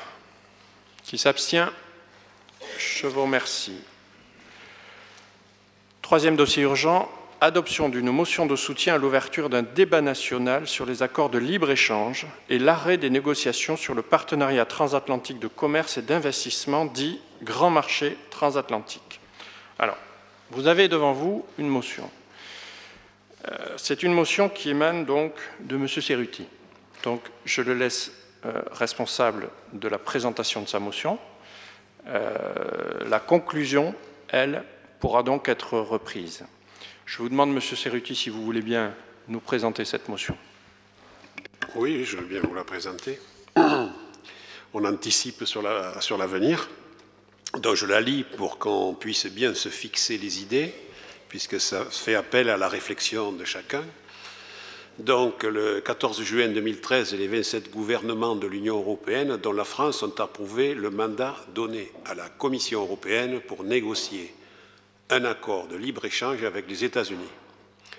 Cet accord négocié, dans le plus grand secret, prévoit que les législations en vigueur des deux côtés de l'Atlantique soient, entre guillemets, harmonisées en libéralisant au maximum les échanges, la circulation des capitaux et en protégeant les investisseurs. Les multinationales auront la possibilité d'attaquer les États et les collectivités territoriales si elles considèrent que leurs profits sont menacés ou simplement revus à la baisse. Cela se traduirait ou pour des sanctions commerciales, par des sanctions commerciales pour le pays contrevenant ou une réparation financière attribuée par un tribunal de droit privé, ce qu'on appelle un tribunal arbitral, pouvant être de plusieurs millions d'euros au bénéfice des plaignants. Si les gains attendus des échanges sont flous, les risques sont bien réels. Avec cet accord, l'agro-business américain pourra plus facilement écouler ses produits sur le marché européen. Les droits de douane sur les produits agricoles étant revus à la baisse, avec des conséquences désastreuses sur l'agriculture locale. Mais c'est surtout au niveau des mesures non tarifaires que l'accord risque d'être impactant. En effet, les normes sociales, sanitaires et environnementales seront jugées, seront interdites et jugées, entre guillemets, déraisonnables, arbitraires ou discriminatoires, si elles sont jugées dans ce sens. Cette libération réglementaire ferait voler en éclat les normes sociales et environnementales appliquées en Europe et dans notre pays. Le libre accès aux matières premières y est explicite, finit donc l'interdiction d'exploiter les gaz de schiste où l'interdiction des OGM ne sera plus possible. La ville de Marmande serait impactée directement si ce traité était signé. Il sera alors en effet très compliqué d'instaurer la nourriture biologique et ou locale dans les restaurants scolaires ou autres, de défendre par exemple une politique de régie pour la distribution d'eau dont on a parlé et la production d'énergie car ces biens seraient privatisables et toute municipalité s'y opposant pourrait être accusée d'entrave à la liberté du commerce. Donc les élus de la ville de Marmande, réunis en conseil municipal, demandent au président de la République et au président de la Commission européenne donc d'apporter son soutien à l'action pour l'ouverture d'un débat national, c'est ça, sur l'ensemble des accords de libre-échange impliquant la pleine participation des collectivités territoriales, des organisations syndicales et associatives, des organisations socio-professionnelles et des populations, et l'arrêt des négociations sur le partenariat transatlantique de commerce et d'investissement TTIP du grand marché transatlantique. En définitive, qu'il y ait un véritable débat transparent, comme on dit, citoyen, pour éviter qu'on soit mangé à cette sauce sans qu'on l'ait décidé. Voilà. C'est le sens du vœu. Alors, juste, juste un mot. Euh, au-delà de la sémantique, au travers de laquelle je vous reconnais bien, M. Cerruti, je crois quand même qu'il y a effectivement des, inquiétudes légitimes euh, dont il faut que, nous soyons conscients. Je, je voudrais juste vous rappeler qu'il y a quelques années, mon prédécesseur avait pris une décision, c'était celle d'interdire les sacs plastiques sur le territoire de la commune. Si demain, un fabricant de sacs plastiques s'estime lésé par cette décision, il peut nous attaquer au tribunal, si l'on suit ces recommandations-là. C'est-à-dire que nous ne sommes plus maîtres chez nous. Et là, ça pose un grand problème. Ça pose un problème parce que nous sommes garants, nous, de l'évolution écologique, de la transition énergétique. Si un jour nous faisons des choix qui sont en opposition avec les intérêts de certaines grandes compagnies, nous ne pourrons pas rivaliser sur le plan juridique et sur le plan judiciaire. Et ça, il faut l'avoir à l'esprit. Donc, euh, c'est vrai que je tenais, je voulais euh, mener ce débat un jour. Vous avez anticipé, vous l'avez mis sur la place publique dans notre ville, mais je vous en remercie et je crois qu'il faut soutenir cette motion euh, parce que nous serions pieds et poings liés face à l'adversité. Et ça, ce n'est pas admissible. Euh, c'est un dossier, quand j'en ai entendu parler la première fois, j'ai pris ça un peu de loin en me disant mais euh, comment euh, des accords transatlantiques pourraient-ils impacter notre gestion? Et puis plus on regarde dans le détail, plus on se rend compte des véritables dangers qui nous guettent. vous savez qu'il y a des grandes multinationales effectivement dans le domaine agroalimentaire dans d'autres domaines aussi, et ne nous mettons pas en situation d'avoir un jour à baisser les chines. Parce que là, euh, nous ne serions plus du tout maîtres de notre destin. Donc il est très important que ceci ne se passe pas. C'est mon avis tout à fait personnel, mais ce sont des responsabilités que je suis prêt à prendre. Est-ce qu'il y a d'autres interventions, d'autres questions? Oui, Monsieur Gay. C'était juste pour dire que ça aussi, c'est le résultat de ce que l'Europe nous prépare. Voilà, de négocier et de, sortir de toute démocratie. C'est pour ça que moi je suis d'accord avec M. Euh, Cerruti pour une fois. Moi je propose qu'on fasse euh, transiter cette motion par le, secrétaire d'État chargé du commerce extérieur. Je pense qu'il serait à même de défendre ce dossier. je pense qu'il le fait en ce moment, qu'il défend les intérêts de la France. Et donc, euh, si vous voyez de qui je veux parler. Je n'y vois pas d'inconvénient. Je vous remercie. Est-ce qu'il y a d'autres questions, d'autres réactions? Allez, nous allons voter de manière électronique pour soutenir la motion. Qui est pour, qui est contre ou qui s'abstient?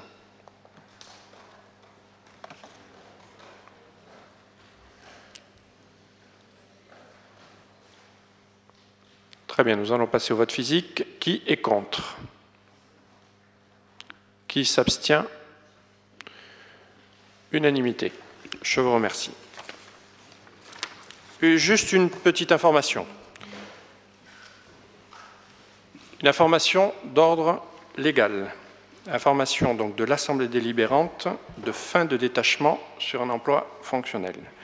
Je vous informe, j'informe donc l'Assemblée délibérante qu'il a été décidé de mettre fin au détachement de Mme Christine Cabos, attachée principale sur l'emploi fonctionnel de directrice générale des services. Mme Christine Cabos était détachée sur cet emploi depuis le 1er décembre 2011. La présente information est faite dans les conditions prévues par l'article 53 de la loi 84-53 du 26 janvier 1984. Cette mesure prendra effet le premier jour du troisième mois suivant la présente information, soit le 28 janvier 2015. Voilà, c'est juste une information. Je vous remercie. La séance est levée.